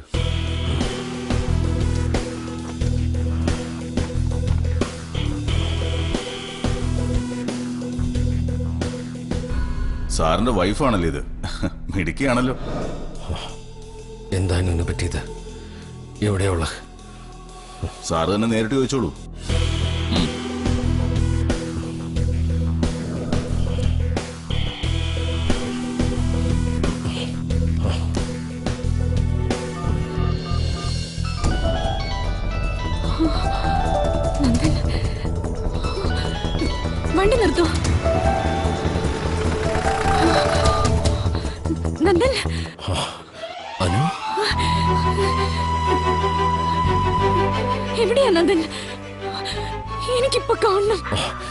എനിക്ക് കുഴപ്പമൊന്നുമില്ല. എന്താ നടക്കുന്നത്? ഇവർക്ക് എന്താ വേണ്ടത്?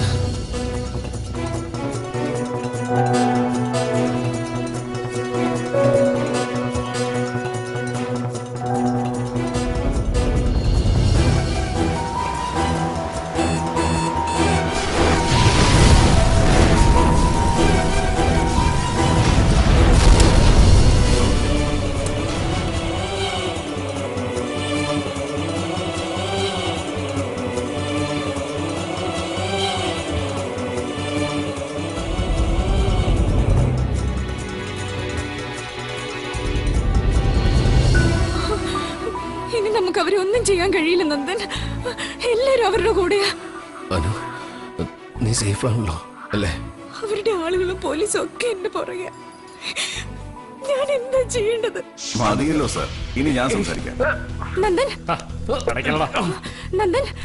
സാറിനൊരു കുഴപ്പമില്ല മാഡം.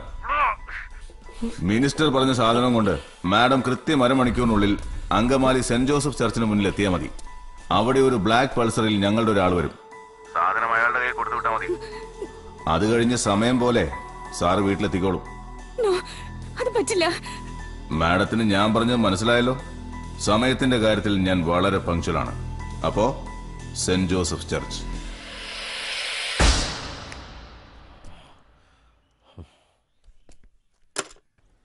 Hello hello. എന്താ പറഞ്ഞത്? നന്ദൻ എവിടെയുള്ളത് അറിയില്ല. അങ്കമാലി സെന്റ് ജോസഫ് ചർച്ചിൽ അരമണിക്കൂറിനകം ചെല്ലണമെന്ന്. അവിടെ ചെന്നിട്ട് നന്ദൻ എവിടെ വരുമോ എനിക്കറിയില്ല. അവിടെ ഒരാൾ വരും. അയക്കിത് കൊടുക്കണം. കൊടുക്കാനോ? അപ്പോ ഇത്രയും ആൾക്കാരുടെ ജീവൻ? പറ്റില്ല.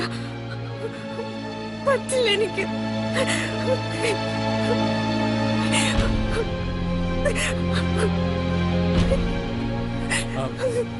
നമുക്ക് പോവാം. അരമണിക്കൂറിട്ട് എത്തിയാ പോരെ?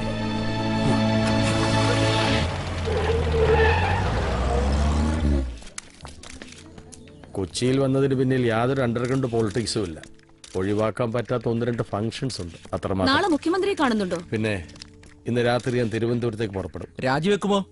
അതൊക്കെ നിങ്ങൾ മാധ്യമങ്ങളുടെ ഭാവനയാണ്. ഭാവനയിൽ എന്തും കാണാമല്ലോ. ഇന്നത്തെ സുധീന്ദ്ര മതവുമായി ബന്ധപ്പെട്ട് നന്ദൻ മേനോനെ അനുരാധ നന്ദനെ കസ്റ്റഡിയിൽ എടുത്തിട്ടുണ്ടോ? ഇല്ല അവർ മിസ്സിംഗ് ആണ്. പോലീസ് ഊർജിതമായി അന്വേഷിച്ചുകൊണ്ടിരിക്കുന്നു. എത്രയും പെട്ടെന്ന് പ്രതികളെ കസ്റ്റഡിയിൽ എടുത്തിരിക്കും.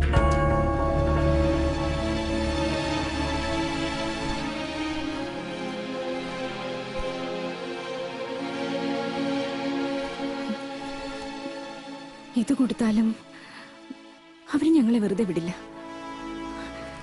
സുധിക്ക് എന്താ സംഭവിച്ചത്?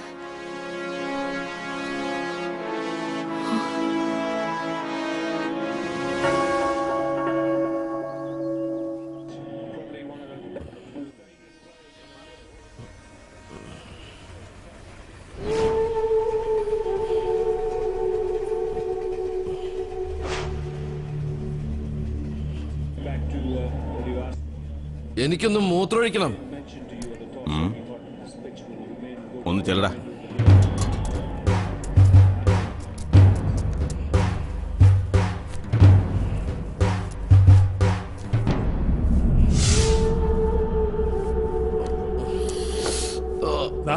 എനിക്കിത്തിരി വെള്ളം കുടിക്കണം. തനിക്ക് മൂത്തൊഴിക്കണോ വെള്ളം കുടിക്കണോ? അതാദ്യം തീരുമാനിക്കും. സാറ് ടെൻഷൻ അടിക്കണ്ട. അരമണിക്കൂറിനുള്ളിൽ മാഡം ഇവിടെ വരും. കൊണ്ടുവരാൻ നമ്മുടെ പയ്യൻ പോയിട്ടുണ്ട്.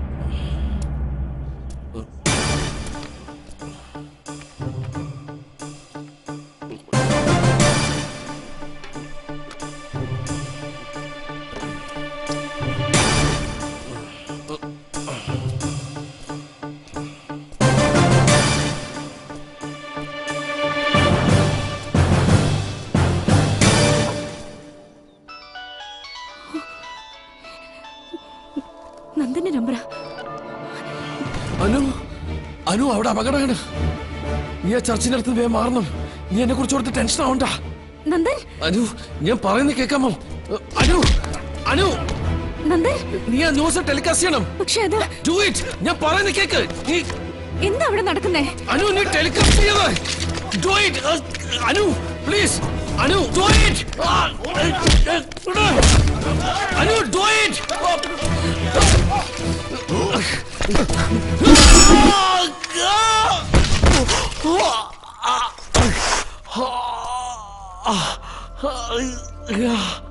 sir ചാവാൻ കരുതി കൂട്ടി ഇറങ്ങി തിരിച്ചാണോ? അതാണ് വിധിയെങ്കിൽ. അങ്ങനെ ആയിക്കോട്ടെ. പക്ഷെ അത് നിങ്ങളുടെ മുമ്പിൽ തോറ്റിട്ടാവില്ല. അനുവിനെ ഇനി നിങ്ങൾക്ക് കിട്ടില്ല. അവൾ ഡൽഹിയില. എത്തിക്കേണ്ട സാധനം എത്തിക്കേണ്ട സ്ഥലത്ത് അവൾ എത്തിച്ചിരിക്കാം. നിങ്ങൾ ആരും രക്ഷപ്പെടാൻ പോണില്ല. രക്ഷപ്പെടാൻ പോണില്ല. നമുക്ക് പോവാം. ആരാ സംസാരിച്ചത്? നന്ദനാണോ? ഞാൻ പറയാം. തൽക്കാലം നമുക്ക് ഇവിടുന്ന് പോവാം. അപ്പൊ ഇത്? ഡോണ്ട് കൺഫ്യൂസ് മീ വണ്ടി എടുക്ക് പ്ലീസ്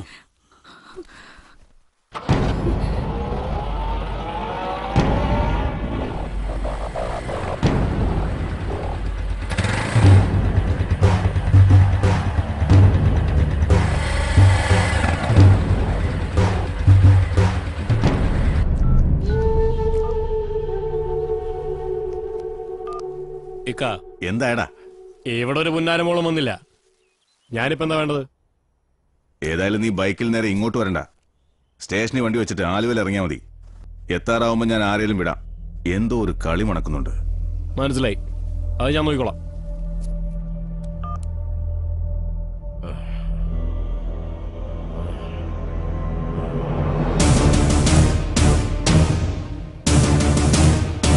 ഡൽഹിയിലോ?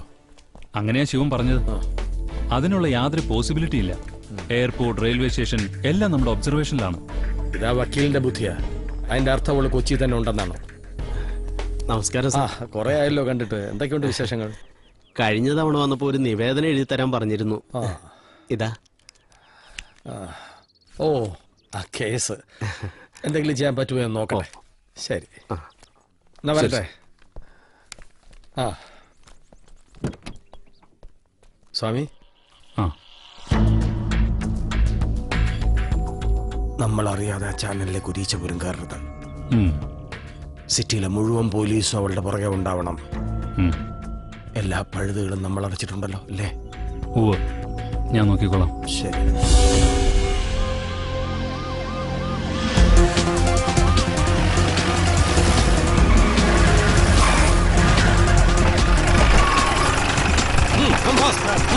ഓ മോദി സാർ എന്താ കോണം രണ്ടുപേരെ ഗേറ്റിന് പിള്ളിക്കുള്ളൂ ആ ചെല്ലേ. എന്താ റൂബി പുറത്തൊരു പോലീസും ബഹളമൊക്കെ ഒക്കെ? അറിയില്ല സർ. ഇവിടെ ഒരു ഇന്റിമേഷനും ഇല്ല. ആഹാ അത് കൊള്ളാലോ.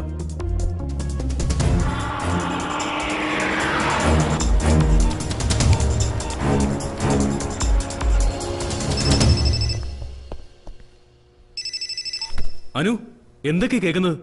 Are you? അതൊന്നും എക്സ്പ്ലെയിൻ ചെയ്യാനുള്ള സമയമില്ല Alex this is really important I have a hot news അതിന്റെ പേരിലാണ് അവർ എന്നെ മർഡറിൽ ട്രാപ്പ് ചെയ്തിരിക്കുന്നത്. Please believe me relax relax എന്ത് ഹോട്ട് ന്യൂസ് ആണ്? ഞാൻ എല്ലാം എക്സ്പ്ലെയിൻ ചെയ്യാം. എനിക്ക് അലക്സിനെ ഉടനെ കാണണം. ഇവിടെ മുഴുവൻ പോലീസുകാരാണ്. എന്തോ ബോംബ് ഭീഷണിയാണെന്ന് അവർ പറയുന്നത്. പക്ഷെ എന്റെ സംശയം അവരുടെ target താനാണെന്നാണ്. You do one thing video clip ആണെങ്കിൽ അതെനിക്ക് മെയിൽ ചെയ്യും. എത്ര കോൺട്രവേഴ്സൽ സംഭവമാണെങ്കിലും നമുക്ക് നോക്കാം. പോരാത്തതിന് ഇന്നത്തെ ബോർഡ് മീറ്റിംഗിന്റെ ചെയർമാനും വരുന്നുണ്ട്. ഓക്കെ ഞാൻ അയക്കാം. പക്ഷെ അലക്സ് ഈ സെക്കൻഡിൽ തന്നെ it should go on air ഒരു സെക്കൻഡ് പോലും നമുക്ക് സ്പെയർ ചെയ്യാനില്ല. I promise I will do it I sending yes ആരാ ഇത്? ചാനലിൽ എന്റെ സീനിയർ പ്രൊഡ്യൂസറാ അലക്സ് കോശി അവിടെ മുഴുവൻ പോലീസുകാരാന്ന് അലക്സ് പറയുന്നത്. ഞാനിത് അലക്സിന് സെൻഡ് ചെയ്യാല്ലേ?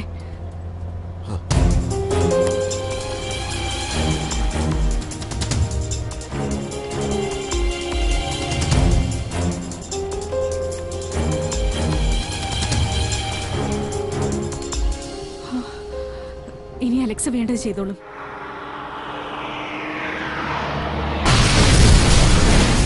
അതിനുശേഷം ഒരു മനുഷ്യജീവനും മാറങ്കര പ്രദേശത്ത് ബാക്കിയുണ്ടാവില്ല. ആർക്കും മറിച്ചൊന്ന് ചിന്തിക്കാൻ ചെറിയൊരു സ്പേസ് പോലും ബാക്കി വെക്കാതെ വളരെ ദാരുണമായ ഒരു അപകടം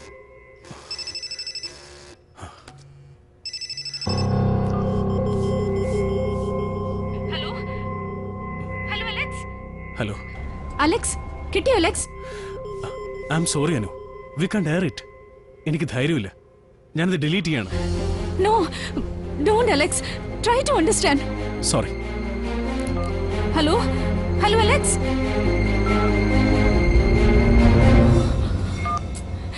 അലക്സിന് അത് ടെലികാസ്റ്റ് ചെയ്യാൻ ധൈര്യമില്ലെന്ന്.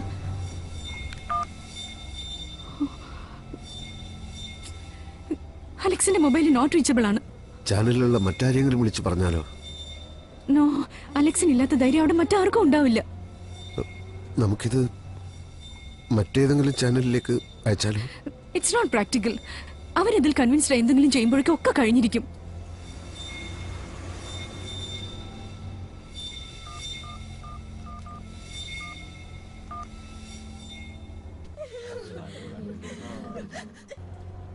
തങ്കമ്മ? സഹായിക്കാന്ന് പറഞ്ഞ് ചതിക്കായിരുന്നല്ലേ ഞങ്ങളെ? എന്ത് തെറ്റാ ഞങ്ങളുടെ സൂര്യ നിങ്ങളോട് ചെയ്തേ?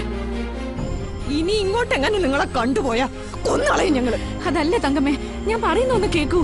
വലിയൊരു അപകടം സംഭവിക്കാൻ പോവാണ്. നിങ്ങൾ എല്ലാവരും അവിടുന്ന് മാറണം. ഹലോ? ഹലോ? എന്താ?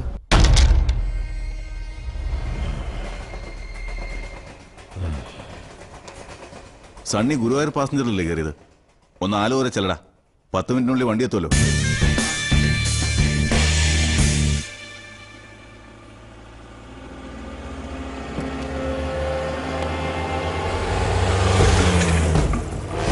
അതവളല്ലേ Come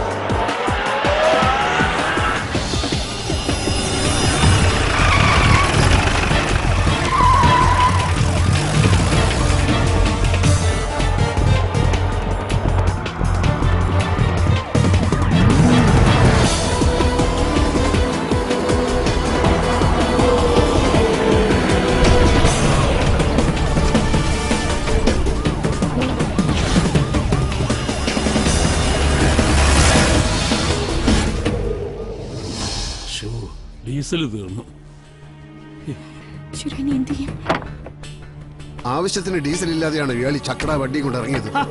അതിനെന്തെങ്കിലും ദിവസം മുഴുവൻ നിർത്താതെ ഓടേണ്ടി വരുമെന്ന് ഞാൻ വിചാരിച്ചോ. എന്റെ വേണ്ടി ചക്കരയാണെങ്കിൽ പിന്നെ എന്തിനാ ഇത് കയറിയത്? ഞാൻ നിർബന്ധിച്ചോ? ഇയാൾ കിടന്ന് വായിട്ടലക്കാതെ എന്തെങ്കിലും ഒന്ന് ചെയ്യ്. വണ്ടി എങ്ങോട്ടെങ്കിലും മാറ്റിയിട്ടില്ലെങ്കിൽ പോലീസിന്റെ കൈ പെട്ടത് തന്നെ. ഞാൻ തള്ളാം. അങ്ങോട്ട് ആ മറവിലോട്ടിടാം. ആ എന്നാ തള്ളു.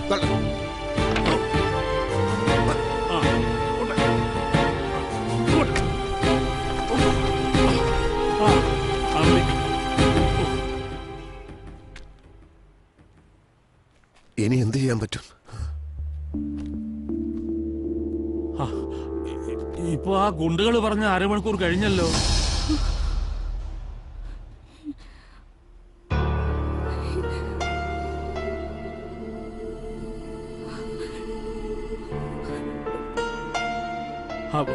അല്ല ഇങ്ങനെ നിന്നാലോ?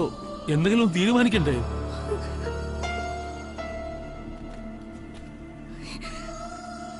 ഞാനിത് ചാനലിൽ എത്തിച്ചാൽ മതിയോ?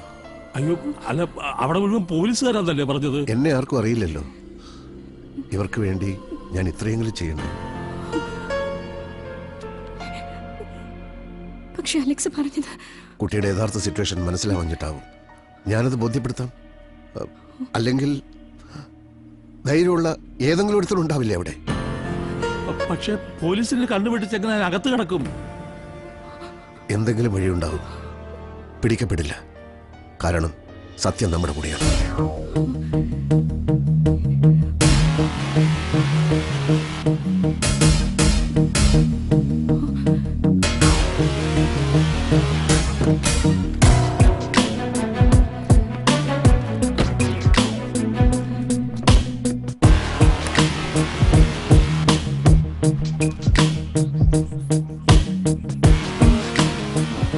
ഞാൻ ഈ വിഷ്വൽസ് എന്റെ ഫോണിലേക്ക് കോപ്പി ചെയ്യാം.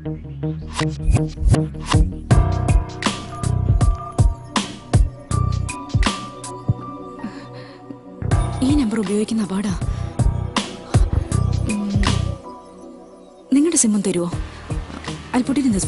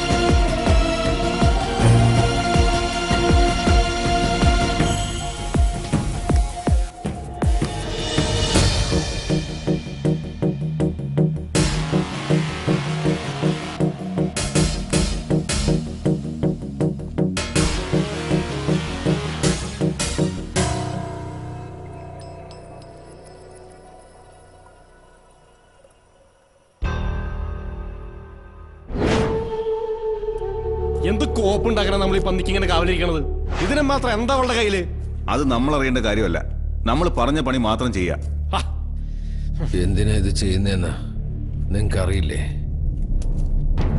മാറങ്കരയിലെ ആയിരക്കണക്കിന് പാവങ്ങൾ ഇന്ന് കൊല്ലപ്പെടാൻ പോവാണ് നിങ്ങളെ ഇത് ഏൽപ്പിച്ച തോമസ് ചാക്കിയാൻ ഡി ജി പിയാ ഇതിന്റെ പുറകിൽ.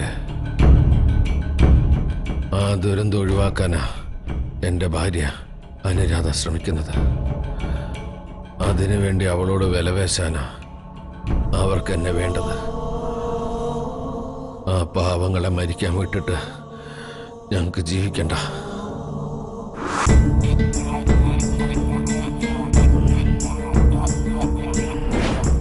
ഈ വക്കീൽ പറഞ്ഞതിൽ വല്ല സത്യമുണ്ടോ? ഇതിന്റെ പുറകിൽ ഇത്ര വലിയ കളികളുണ്ടായിരുന്നോ? നീ എന്തിനാ അന്വേഷിക്കുന്നേ? പറഞ്ഞ പണിയതാ പോരെ. കാശ് എത്ര വെച്ചാ ചോദിച്ചോ? എന്താണ് പറഞ്ഞേക്ക? കാശ് ഇനിയും എത്ര വേണമെങ്കിലും തരാന്ന്. ഇവന്റെയൊക്കെ കാശിന്റെ മുന്നിൽ വാലാട്ടി നിൽക്കണ പൊട്ടികൾ ശിവൻ സാറിനെ ഞാനൊന്ന് വിളിച്ചു നോക്കാം. ഒരു മറ്റവനെ ആരും വിളിക്കാൻ പോകുന്നില്ല. മനസ്സിലാണോ നിനക്ക്?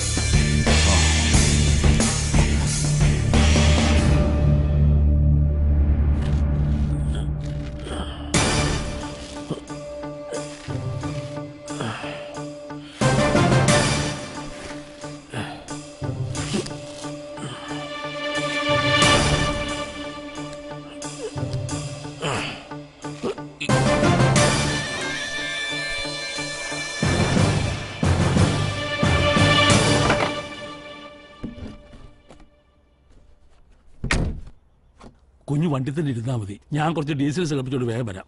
ഏ?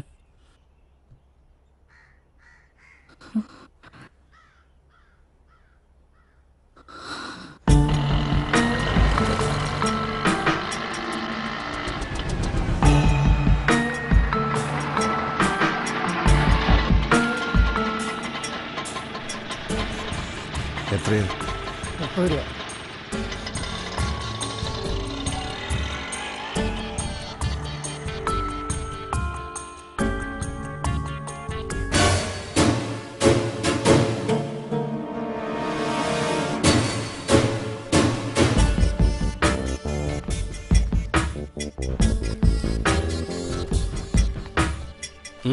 എന്താ ഇവിടെ കാര്യം? ഞാൻ അവിട്ടത്തൂർ ക്ഷേത്ര കമ്മിറ്റിയുടെ ജനറൽ സെക്രട്ടറിയാണ്. ഉത്സവത്തെ സംബന്ധിച്ചുള്ള ഒരു പരിപാടിയിൽ പങ്കെടുക്കാൻ വന്നതാണ്. നോക്കണോ?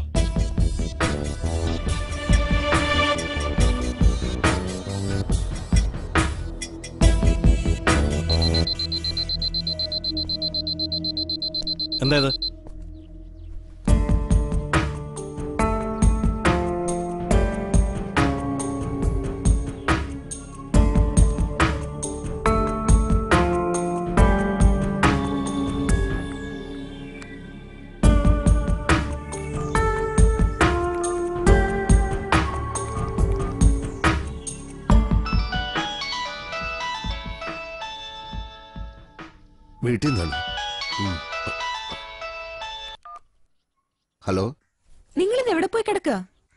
ഓഫീസിൽ വിളിച്ചപ്പോ അവിടെയില്ല. അമ്പല കമ്മിറ്റിക്കാര് ഒരു പത്ത് തവണയെങ്കിലും വിളിച്ചിട്ടുണ്ടാവും.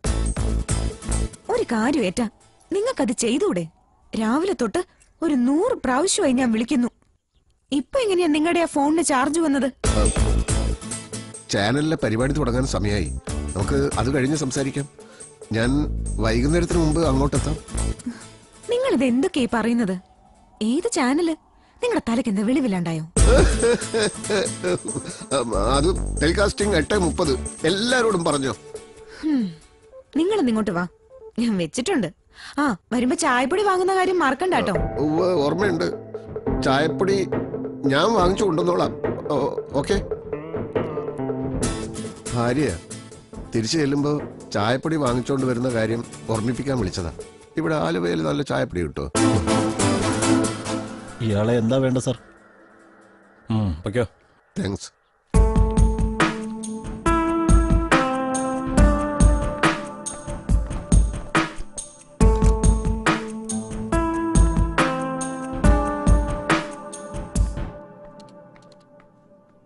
എനിക്ക് മിസ്റ്റർ അലക്സ് കോശിയെ ഒന്ന് കാണണമായിരുന്നു. എന്താ കാര്യം? ഒരു പേഴ്സണൽ കാര്യം പറയാനാണ്. വരുന്ന് വിളിച്ച് പറഞ്ഞിരുന്നു. നേരെ ചെന്ന് ഫസ്റ്റ് ലെഫ്റ്റിൽ കാണുന്നതാ അലക്സാറിന്റെ ക്യാബിൻ. താങ്ക്സ്. വേണ്ട സർ. തോമസ് ചാക്കോ സാറോട് സംസാരിക്കണമെന്നില്ല. ഒന്നും മറന്നിട്ടില്ല സാർ. എനിക്കിവിടെ ജോലിക്ക് റെക്കമെൻഡ് ചെയ്ത പോലും തോമസ് ചാക്കോ സാറാണ്. ഇല്ല ഇല്ല സർ. എന്റെ ഭാഗത്ത് നിന്ന് ഒരു തെറ്റും ഉണ്ടാവില്ല. ഞാൻ ഉറപ്പ് തരുന്നു. അനുവിന് വേറെ ഓപ്ഷൻ ഇല്ല.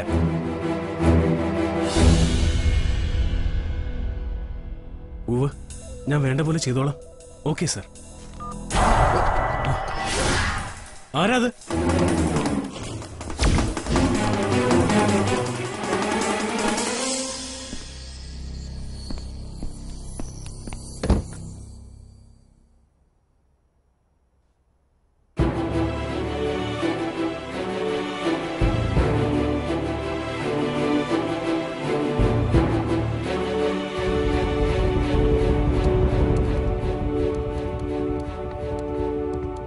ചെയർമാൻ ഇപ്പൊ ഇവിടെ ഉണ്ടോ?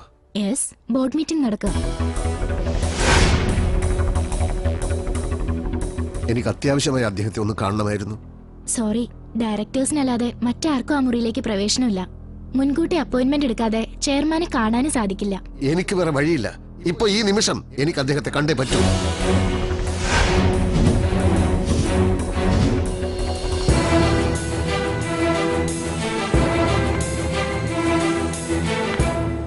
എന്തൊക്കെ പറഞ്ഞാലും അനുരാധയാണിത് ചെയ്തതെന്ന് ഞാൻ വിശ്വസിക്കുന്നില്ല. അതുകൊണ്ട് തന്നെ ചാനലിന്റെ മുഖം രക്ഷിക്കാൻ എന്ന പേരിൽ അവർക്കെതിരെ ഒരു ഇമ്മീഡിയറ്റ് നടപടിക്ക് ഞാൻ തയ്യാറല്ല. ലെറ്റസ് വെയിറ്റ് സത്യം എന്താണെന്ന് തെളിയട്ടെ? ക്ഷമിക്കണം സാർ. എനിക്ക് ഒരു മിനിറ്റ് സാറിനോട് സംസാരിക്കണം. ഒരേ ഒരു മിനിറ്റ്. ഇനി ഒരു അരമണിക്കൂറിനുള്ളിൽ ആയിരക്കണക്കിന് ആളുകൾ മരിക്കാൻ പോവുകയാണ് ഇവിടെ. സാർ വിചാരിച്ചാൽ അവരെ രക്ഷിക്കാൻ കഴിയും. സാർ ഞാൻ പറയുന്നത് ദയവേത് വിശ്വസിക്കണം. പ്ലീസ് ഇല്ലാതെ ഞാൻ. എന്നെ വിടൂ എന്നെ വിടൂ പ്ലീസ് എന്നെ വിടൂ വിടൂ. സ്റ്റോപ്പ് ഇറ്റ് അയാളെ വിടൂ. എന്താ പറയാനുണ്ടെന്ന് പറഞ്ഞത്? അത് give us a minute gentlemen please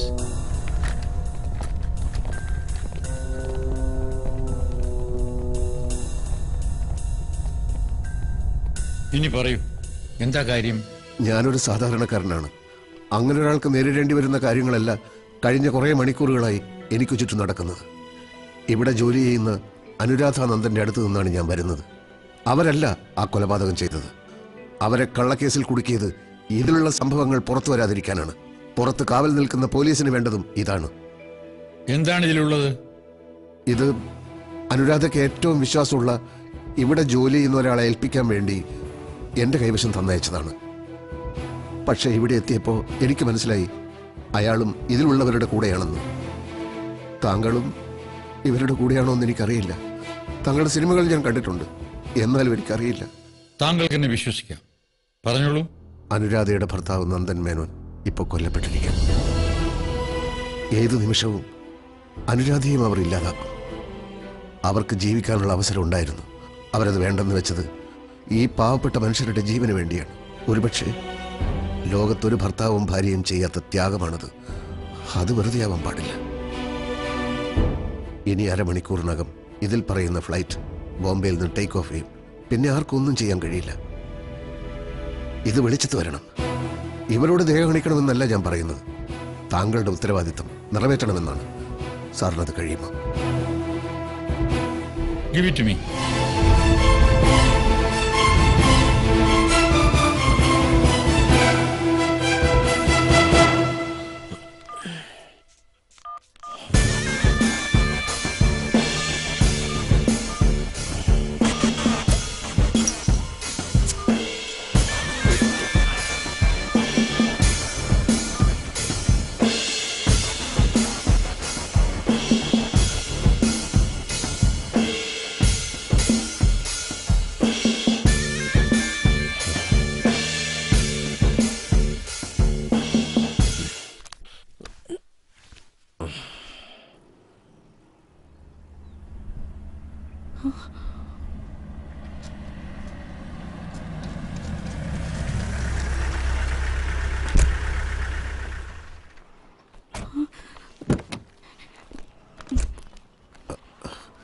ചെയർമാനെ കണ്ട് സംസാരിക്കാൻ പറ്റി.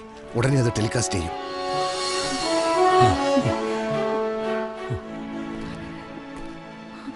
നന്ദൻ.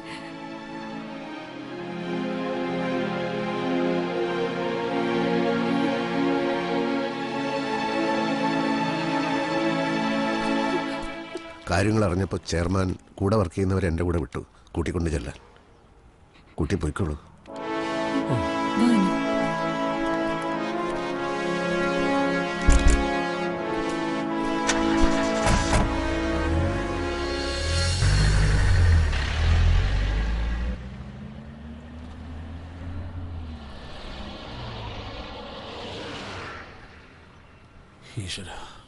നമ്മളിനി എന്താ വേണ്ടേ? നിങ്ങൾക്ക് എന്നെ എന്റെ വീട് വരെ ഒന്ന് കൊണ്ടുവിടാൻ പറ്റുമോ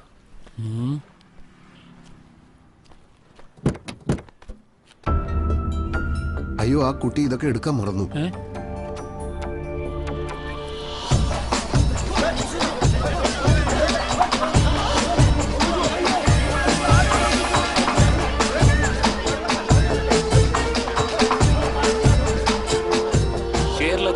മനസാക്ഷി ഞെട്ടിച്ച ഈ വാർത്ത ഞങ്ങളുടെ ന്യൂസ് എഡിറ്റർ അനുരാധ നന്ദൻ പുറത്തു കൊണ്ടുവന്നത് സ്വന്തം ജീവൻ പണയപ്പെടുത്തിയാണ്.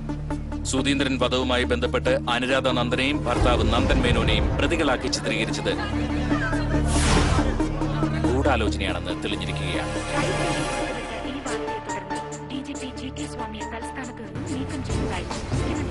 വാർത്ത പുറത്തു വന്നതിനു ശേഷം അതിരൂക്ഷമായ പ്രതികരണങ്ങളാണ് കേരളത്തിലെ ജനങ്ങളിൽ നിന്നും ഉണ്ടായിക്കൊണ്ടിരിക്കുന്നത്. കേരള മാധ്യമ ചരിത്രത്തിലെ ഏറ്റവും സിഗ്നിഫിക്കന്റ് ആയ ദിവസമാണ് അനുരാധ നന്ദൻ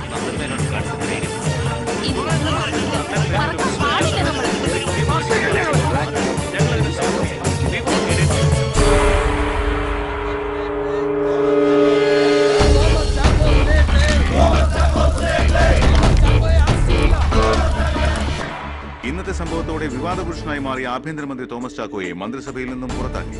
സുധീന്ദ്രൻ വധവുമായി ബന്ധപ്പെട്ട് ഏത് നിമിഷവും തോമസ് ചാക്കോയെ പോലീസ് കസ്റ്റഡിയിലെടുക്കുമെന്ന് കരുതപ്പെടുന്നു.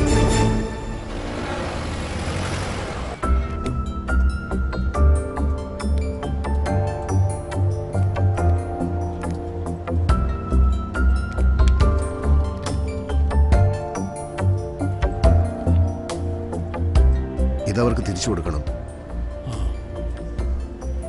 അവരുടെ പരിചയക്കാരോട് ആരോടെങ്കിലും വിളിച്ച് പറയാം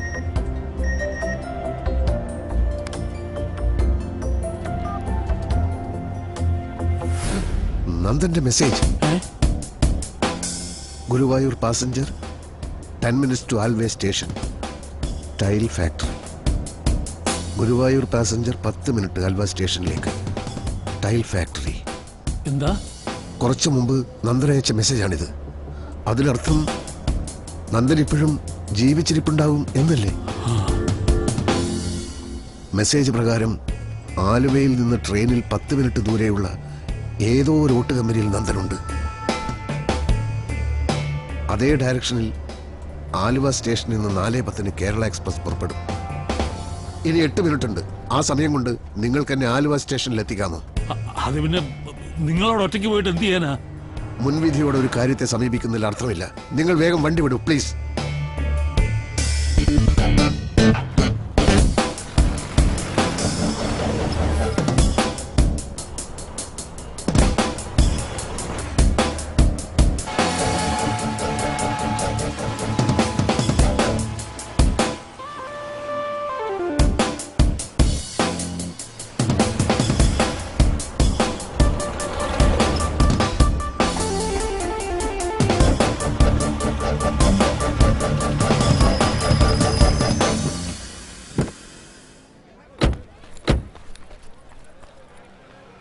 കാരണം ഒരുപാട് ബുദ്ധിമുട്ടിയെന്നറിയാം. എത്ര തന്നാലും മതിയാവില്ല. എന്നാലും ഈ ദിവസം ഞാൻ ഒരിക്കലും മറക്കില്ല. മനുഷ്യത്വം നശിച്ചിട്ടില്ലാത്ത ചിലയിടെങ്കിലും ഈ ഭൂമിയിലുണ്ടെന്ന് നിങ്ങൾ എനിക്ക് കാണിച്ചു തന്നു. എനിക്കത് മതി. അത് മതി. ട്രെയിൻ പുറപ്പെടാനായി. അല്ല ആ.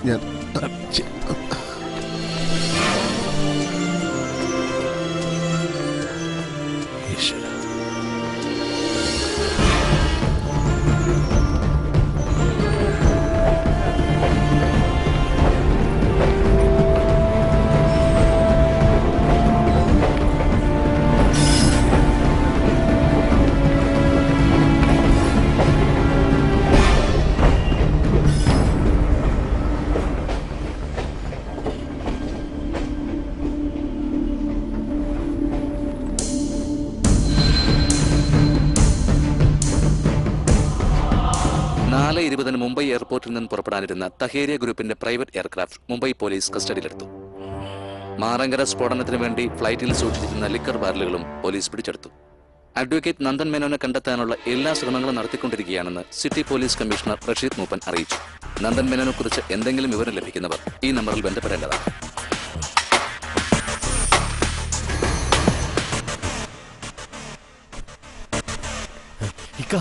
ശിവൻ സാറിനെ പോലീസ് അറസ്റ്റ് ചെയ്തു. ഇനി ഇവിടെ നിന്നാ പെശക. പോലീസ് എപ്പോ വേണമെങ്കിലും ഇവിടെ എത്തും. ഈ ടെന്റ് കാരണം നമ്മളൊക്കെ തൂങ്ങാൻ പോവാ. ഇവനെ വെട്ടി നുറുക്കാൻ ഓർഡർ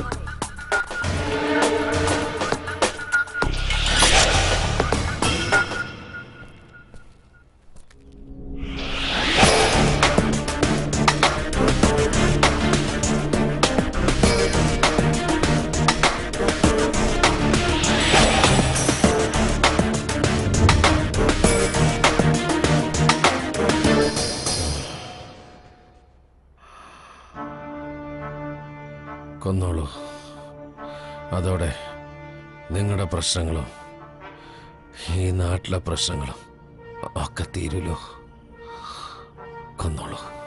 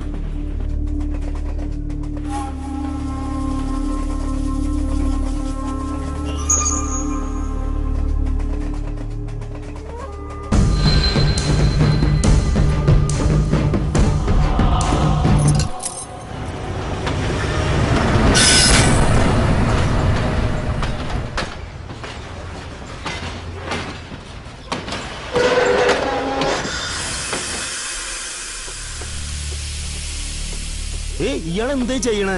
എന്തിനാ ചങ്ങല വലിച്ചേ അല്ലെങ്കിൽ താഴെ വീണ? ഞാൻ വിചാരിക്കുന്നത് ആ കാണുന്ന വോട്ട് കമ്പനിയിൽ അഡ്വക്കേറ്റ് നന്ദൻ മേനോൻ ഉണ്ടെന്നാണ്.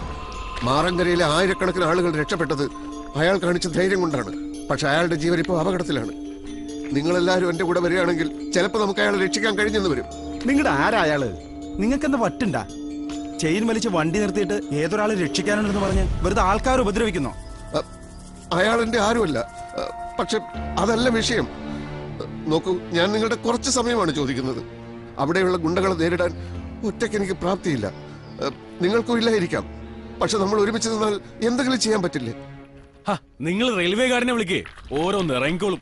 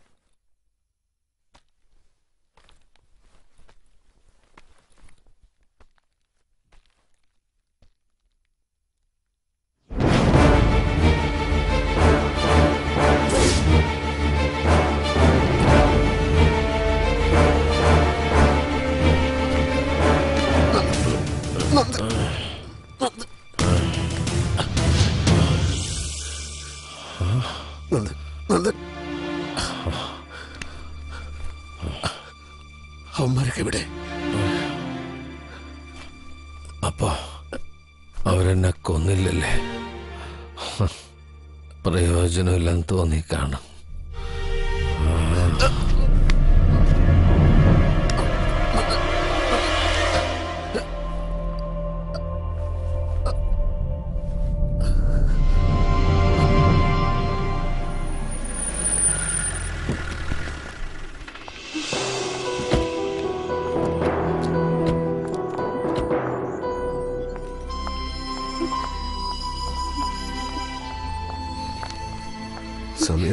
സമയത്ത് പറ്റിയതുകൊണ്ട് ഭാഗ്യായി. പേടിക്കാനില്ലെന്ന് ഡോക്ടർ പറഞ്ഞത്. ഞങ്ങളോട് ക്ഷമിക്കാൻ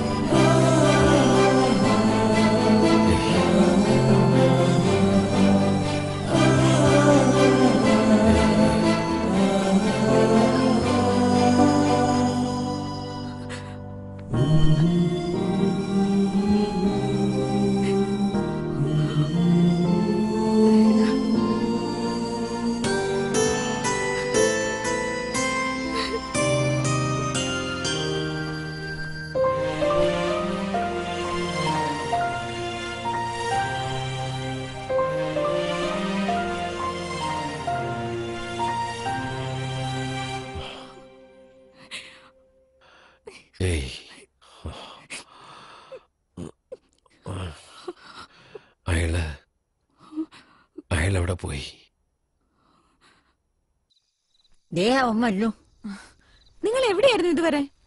എന്തൊക്കെയാ ഫോണിൽ കൂടി പറഞ്ഞത്? ചാനൽ എട്ട് മുപ്പതിന് പ്രോഗ്രാം ഉത്സവം എങ്ങനെ ഉണ്ടായിരുന്നു? ഉത്സവമൊക്കെ അന്തസ്സായിട്ട് തന്നെ നടന്നു.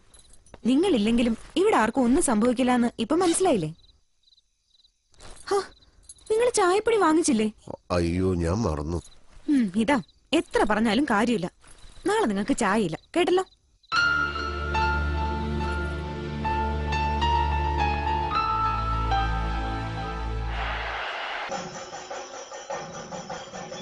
മാറങ്കര ഗ്രാമത്തിൽ സംഭവിക്കുമായിരുന്ന ഒരു വൻ ദുരന്തം ഒഴിവാക്കാൻ സ്വന്തം ജീവൻ തന്നെ സമർപ്പിക്കാൻ തയ്യാറായ അഡ്വക്കേറ്റ് നന്ദൻ മേനോനും അനുരാധ നന്ദനും ഇപ്പോൾ നമ്മോടൊപ്പം ലൈവായി ലിറ്റിൽ ഫ്ലവർ ഹോസ്പിറ്റലിൽ നിന്നും ജോയിൻ ചെയ്യുന്നു. Welcome miss and Mrs Nandan Menon. നമസ്കാരം. സിനിമയിലെ നായകന്മാർ മാത്രമേ ഇത്രയും ധീരോദാത്തമായ കാര്യങ്ങൾ ചെയ്തു കണ്ടിട്ടുള്ളൂ. എന്നാൽ സഹജീവികൾക്ക് വേണ്ടി സ്വയം ത്യജിക്കാൻ തയ്യാറാവുന്ന താങ്കളെ പോലുള്ളവരാണ് ചരിത്രത്തിലെ യഥാർത്ഥ നായകന്മാർ. ഈ പ്രതിബദ്ധത ഈ ധൈര്യം എങ്ങനെ ആർജിക്കാൻ കഴിഞ്ഞു? പ്രതിബദ്ധതയാണോ ധൈര്യമാണോ എന്നൊന്നും എനിക്കറിയില്ല. ഞാനും എന്റെ ജീവിതവുമാണ് ഏറ്റവും വിലപ്പെട്ടതെന്ന് ചിന്തിക്കുന്നവർ മരണത്തെ ഭയപ്പെടും. ഈ ജീവിതം എനിക്ക് തന്ന കാഴ്ചപ്പാടുകളും ജന്മവാസനകളും മറിച്ച് ചിന്തിക്കാൻ എന്നെ പ്രേരിപ്പിച്ചിരിക്കാം. മാറങ്കരയിലെ ജനങ്ങളെ എനിക്കറിയാം. അവരുടെ കത്തിയെറിഞ്ഞ ശരീരങ്ങൾ എന്റെ കൺമുമ്പിൽ തെളിഞ്ഞു വന്നു. ഭീതിതമായിരുന്നു ആ കാഴ്ച. അതൊരു യാഥാർത്ഥ്യമാവുകയും അത് കാണാൻ ഞാൻ ജീവിച്ചിരിക്കുകയും ചെയ്യുന്നത് അർത്ഥശൂന്യമായിട്ട് എനിക്ക് തോന്നി. യഥാർത്ഥത്തിൽ നന്ദി പറയേണ്ടത് കുറെ നല്ല മനുഷ്യരോടാണ്. ഇവളെ സഹായിച്ച ഒരു കാർ ഡ്രൈവറോട് എന്നെ കൊല്ലാതെ വിട്ട കുറെ ഗുണ്ടകളോട്. എല്ലാറ്റിനുപരിയായി തികച്ചും അന്യരായ ഞങ്ങളെ രക്ഷപ്പെടുത്താൻ ആദ്യ അവസാനം കൂടെ നിന്ന ദൈവതുല്യനായ ഒരു സാധാരണ മനുഷ്യൻ. ഞാൻ ആക്രമിക്കപ്പെടുന്നത് കണ്ട നിമിഷം മുതൽ ഈ ആശുപത്രിയിൽ എന്നെ എത്തിക്കുന്നതുവരെ അയാൾ ഞങ്ങളോടൊപ്പം ഉണ്ടായിരുന്നു. ആരാണ് അയാൾ? We are also eager to see him അറിയില്ല. എവിടെ നിന്നും അയാൾ വന്നു. ഞങ്ങളുടെ ഒരു നന്ദി വാക്ക് പോലും കേൾക്കാൻ നിൽക്കാതെ എങ്ങോട്ട് അയാൾ പോയി. ഒരുപക്ഷെ തന്റെ സ്വകാര്യത അയാൾക്ക് പ്രിയപ്പെട്ടതായിരിക്കാം. ദൈവത്തിന്റെ ഒരു കണ്ണ് എപ്പോഴും നമ്മുടെ മേലുണ്ടെന്ന് ഞാൻ വിശ്വസിക്കുന്നു. അല്ലെങ്കിൽ ഞങ്ങളുടെ ജീവിതത്തിലെ നിർണായകമായ ഒരു ദിവസത്തിലേക്ക് അജ്ഞാതനായ ആ മനുഷ്യൻ കടന്നു വരുമായിരുന്നു. മറ്റുള്ളവർക്ക് അപകടങ്ങൾ സംഭവിക്കുമ്പോൾ നമ്മളിൽ പലരും അത് കണ്ടില്ലെന്നടിച്ച് ഒഴിഞ്ഞു മാറിപ്പോവുകയാണ് ചെയ്യാറ്. എന്തിനു വെറുതെ ഏടാകുടത്തിൽ ചെന്ന് ചാടണം എന്നായിരിക്കും അപ്പോൾ നമ്മൾ ചിന്തിക്കുന്നത്. മറിച്ച് ചിന്തിച്ചാൽ ഒരു ജീവൻ അല്ലെങ്കിൽ പലരുടെയും ജീവൻ രക്ഷപ്പെടുത്താൻ നമുക്ക് കഴിയില്ലേ? അതിന് തടിമിടക്കും ആൾബലമൊന്നുമല്ല ആർദ്രതയുള്ള ഒരു മനസ്സാണ് വേണ്ടതെന്ന് ആ മനുഷ്യൻ തെളിയിച്ചു. ഞാൻ ഈ സംസാരിക്കുന്നത് എവിടെ നിന്നെങ്കിലും അദ്ദേഹം കേൾക്കുന്നുണ്ടെങ്കിൽ എനിക്ക് പറയാനുള്ളത് പ്രിയപ്പെട്ട സുഹൃത്തെ ഒരിക്കലും ഞങ്ങൾ നിങ്ങളെ മറക്കില്ല. ഞങ്ങളുടെ പ്രാർത്ഥനകളിൽ എന്നും നിങ്ങളുണ്ടായിരിക്കും ഹൃദയത്തിന്റെ അടിത്തട്ടിൽ നിന്നുള്ള ഞങ്ങളുടെ നന്ദിയും സ്നേഹവും ദയവായി സ്വീകരിച്ചാലും.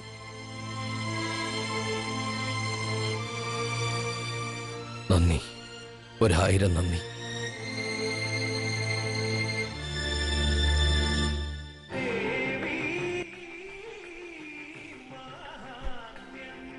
ദേവി മാമായി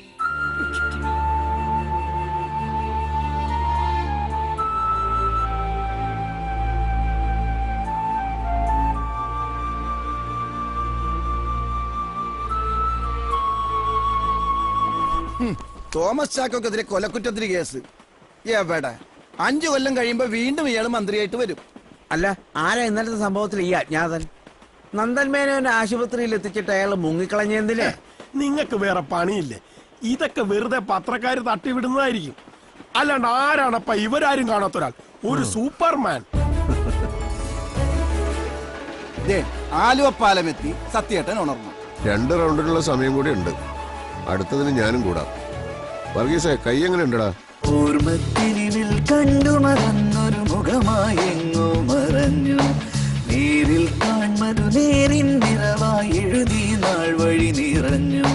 ജന്മപുണ്യം പകർന്നു പോകുന്ന ധന്യമാത്രയിൽ പൂവിറുക്കാതെ പൂവ് ചൂടുന്ന നന്മയായി മാനസം. കുളിരു നെയ്തു ചേർക്കുന്ന തെന്നലരിയ വിരതഴുകിയെന്റെ പ്രാണനിൽ പഴയൊരോർമ്മത്തിരിവിൽ കണ്ടു മറന്നൊരു മുഖമായി എങ്ങോ മറഞ്ഞു. നേരിൽ കാൺമതു നേരിൻ നിറവായി എഴുതി നാൾ വഴി നിറഞ്ഞു.